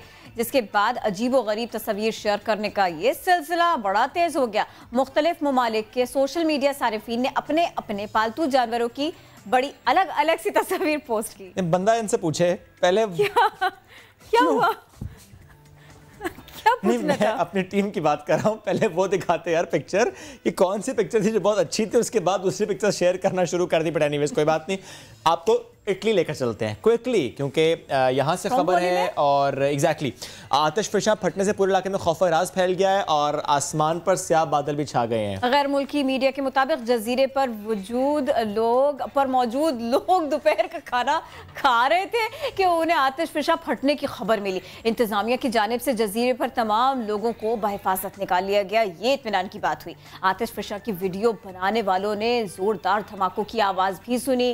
स्ट्रोम्पोली में बहरा रोम में वाक़ एक छोटा सा जजीरा है और ये सिर्फ़ एक छोटा सा जजीरा ही नहीं है ये एक सयाहती मकाम भी है। फिर यहाँ से लोगों को मूव भी किया गया। पाकिस्तान की मीशत के हवाले से आईएमएफ की रिपोर्ट जारी कर दी गई उस रिपोर्ट में पाकिस्तान को आइंदा माह बिजली की कीमत ढाई रुपए फ़ी यूनिट बढ़ाना होगी। मजीद बात करेंगे शकील अहमद हमें ज्वाइन करें। शकील मजीद क्या है इस रिपोर्ट में? बिजली से मुतालिक तो आ, बुरी खबर आ गई। और देखिए शुएब, ये वो शराइ हैं जो हुकूमत पाकिस्तान ने आईएमएफ के साथ एग्री की हैं, जो छः अरब डॉलर का कर्ज प्रोग्राम में तय किया गया है। इसमें अहम चीज़ ये है कि अब क्वार्टर बेस पे बिजली और गैस कीमतों में इजाफा करना पड़ेगा और दिसंबर में जाकर कानून साजी की जाएगी, ओगरा और नेपरा एक्ट में तरमीम की जाएगी और इसके अलावा दीगर काफ़ी सख्त शराइ भी शामिल हैं ताकि टैक्स रेवेन्यू में इजाफा हो और स्कीम नहीं आएगी आई एम एफ़ को बता दिया गया है। और साथ साथ ये कहा गया है कि जो एफ़ की जो जो एक्शन प्लान है, उस पर अमल किया जाएगा। क्योंकि पाकिस्तान ग्रे लिस्ट में शामिल है तो उससे पाकिस्तान को निकलने के लिए वो तमाम एक्शन प्लान और बेंच पर अमल करना होगा। बहुत शुक्रिया शकील, आप हमें अपडेट कर रहे थे। और आज वक्त ख़त्म हो गया है, लेकिन आपको बताएँ कि चैलेंज का वक्त अभी ख़त्म नहीं हुआ, सिर्फ़ एक दिन गुजरा है, क्योंकि वन मंथ चैलेंज है स्मार्टफ़ोन यूज़ ना करने का सोशल मीडिया यूज़ ना करने का। तो आप भी चैलेंज का हिस्सा बनिए, फिर बताइए कि आप पर क्या बीती, लेकिन अभी वक्त हुआ ख़त्म तो मिलेंगे कल, तब तक के लिए। अल्लाह हाफिज़।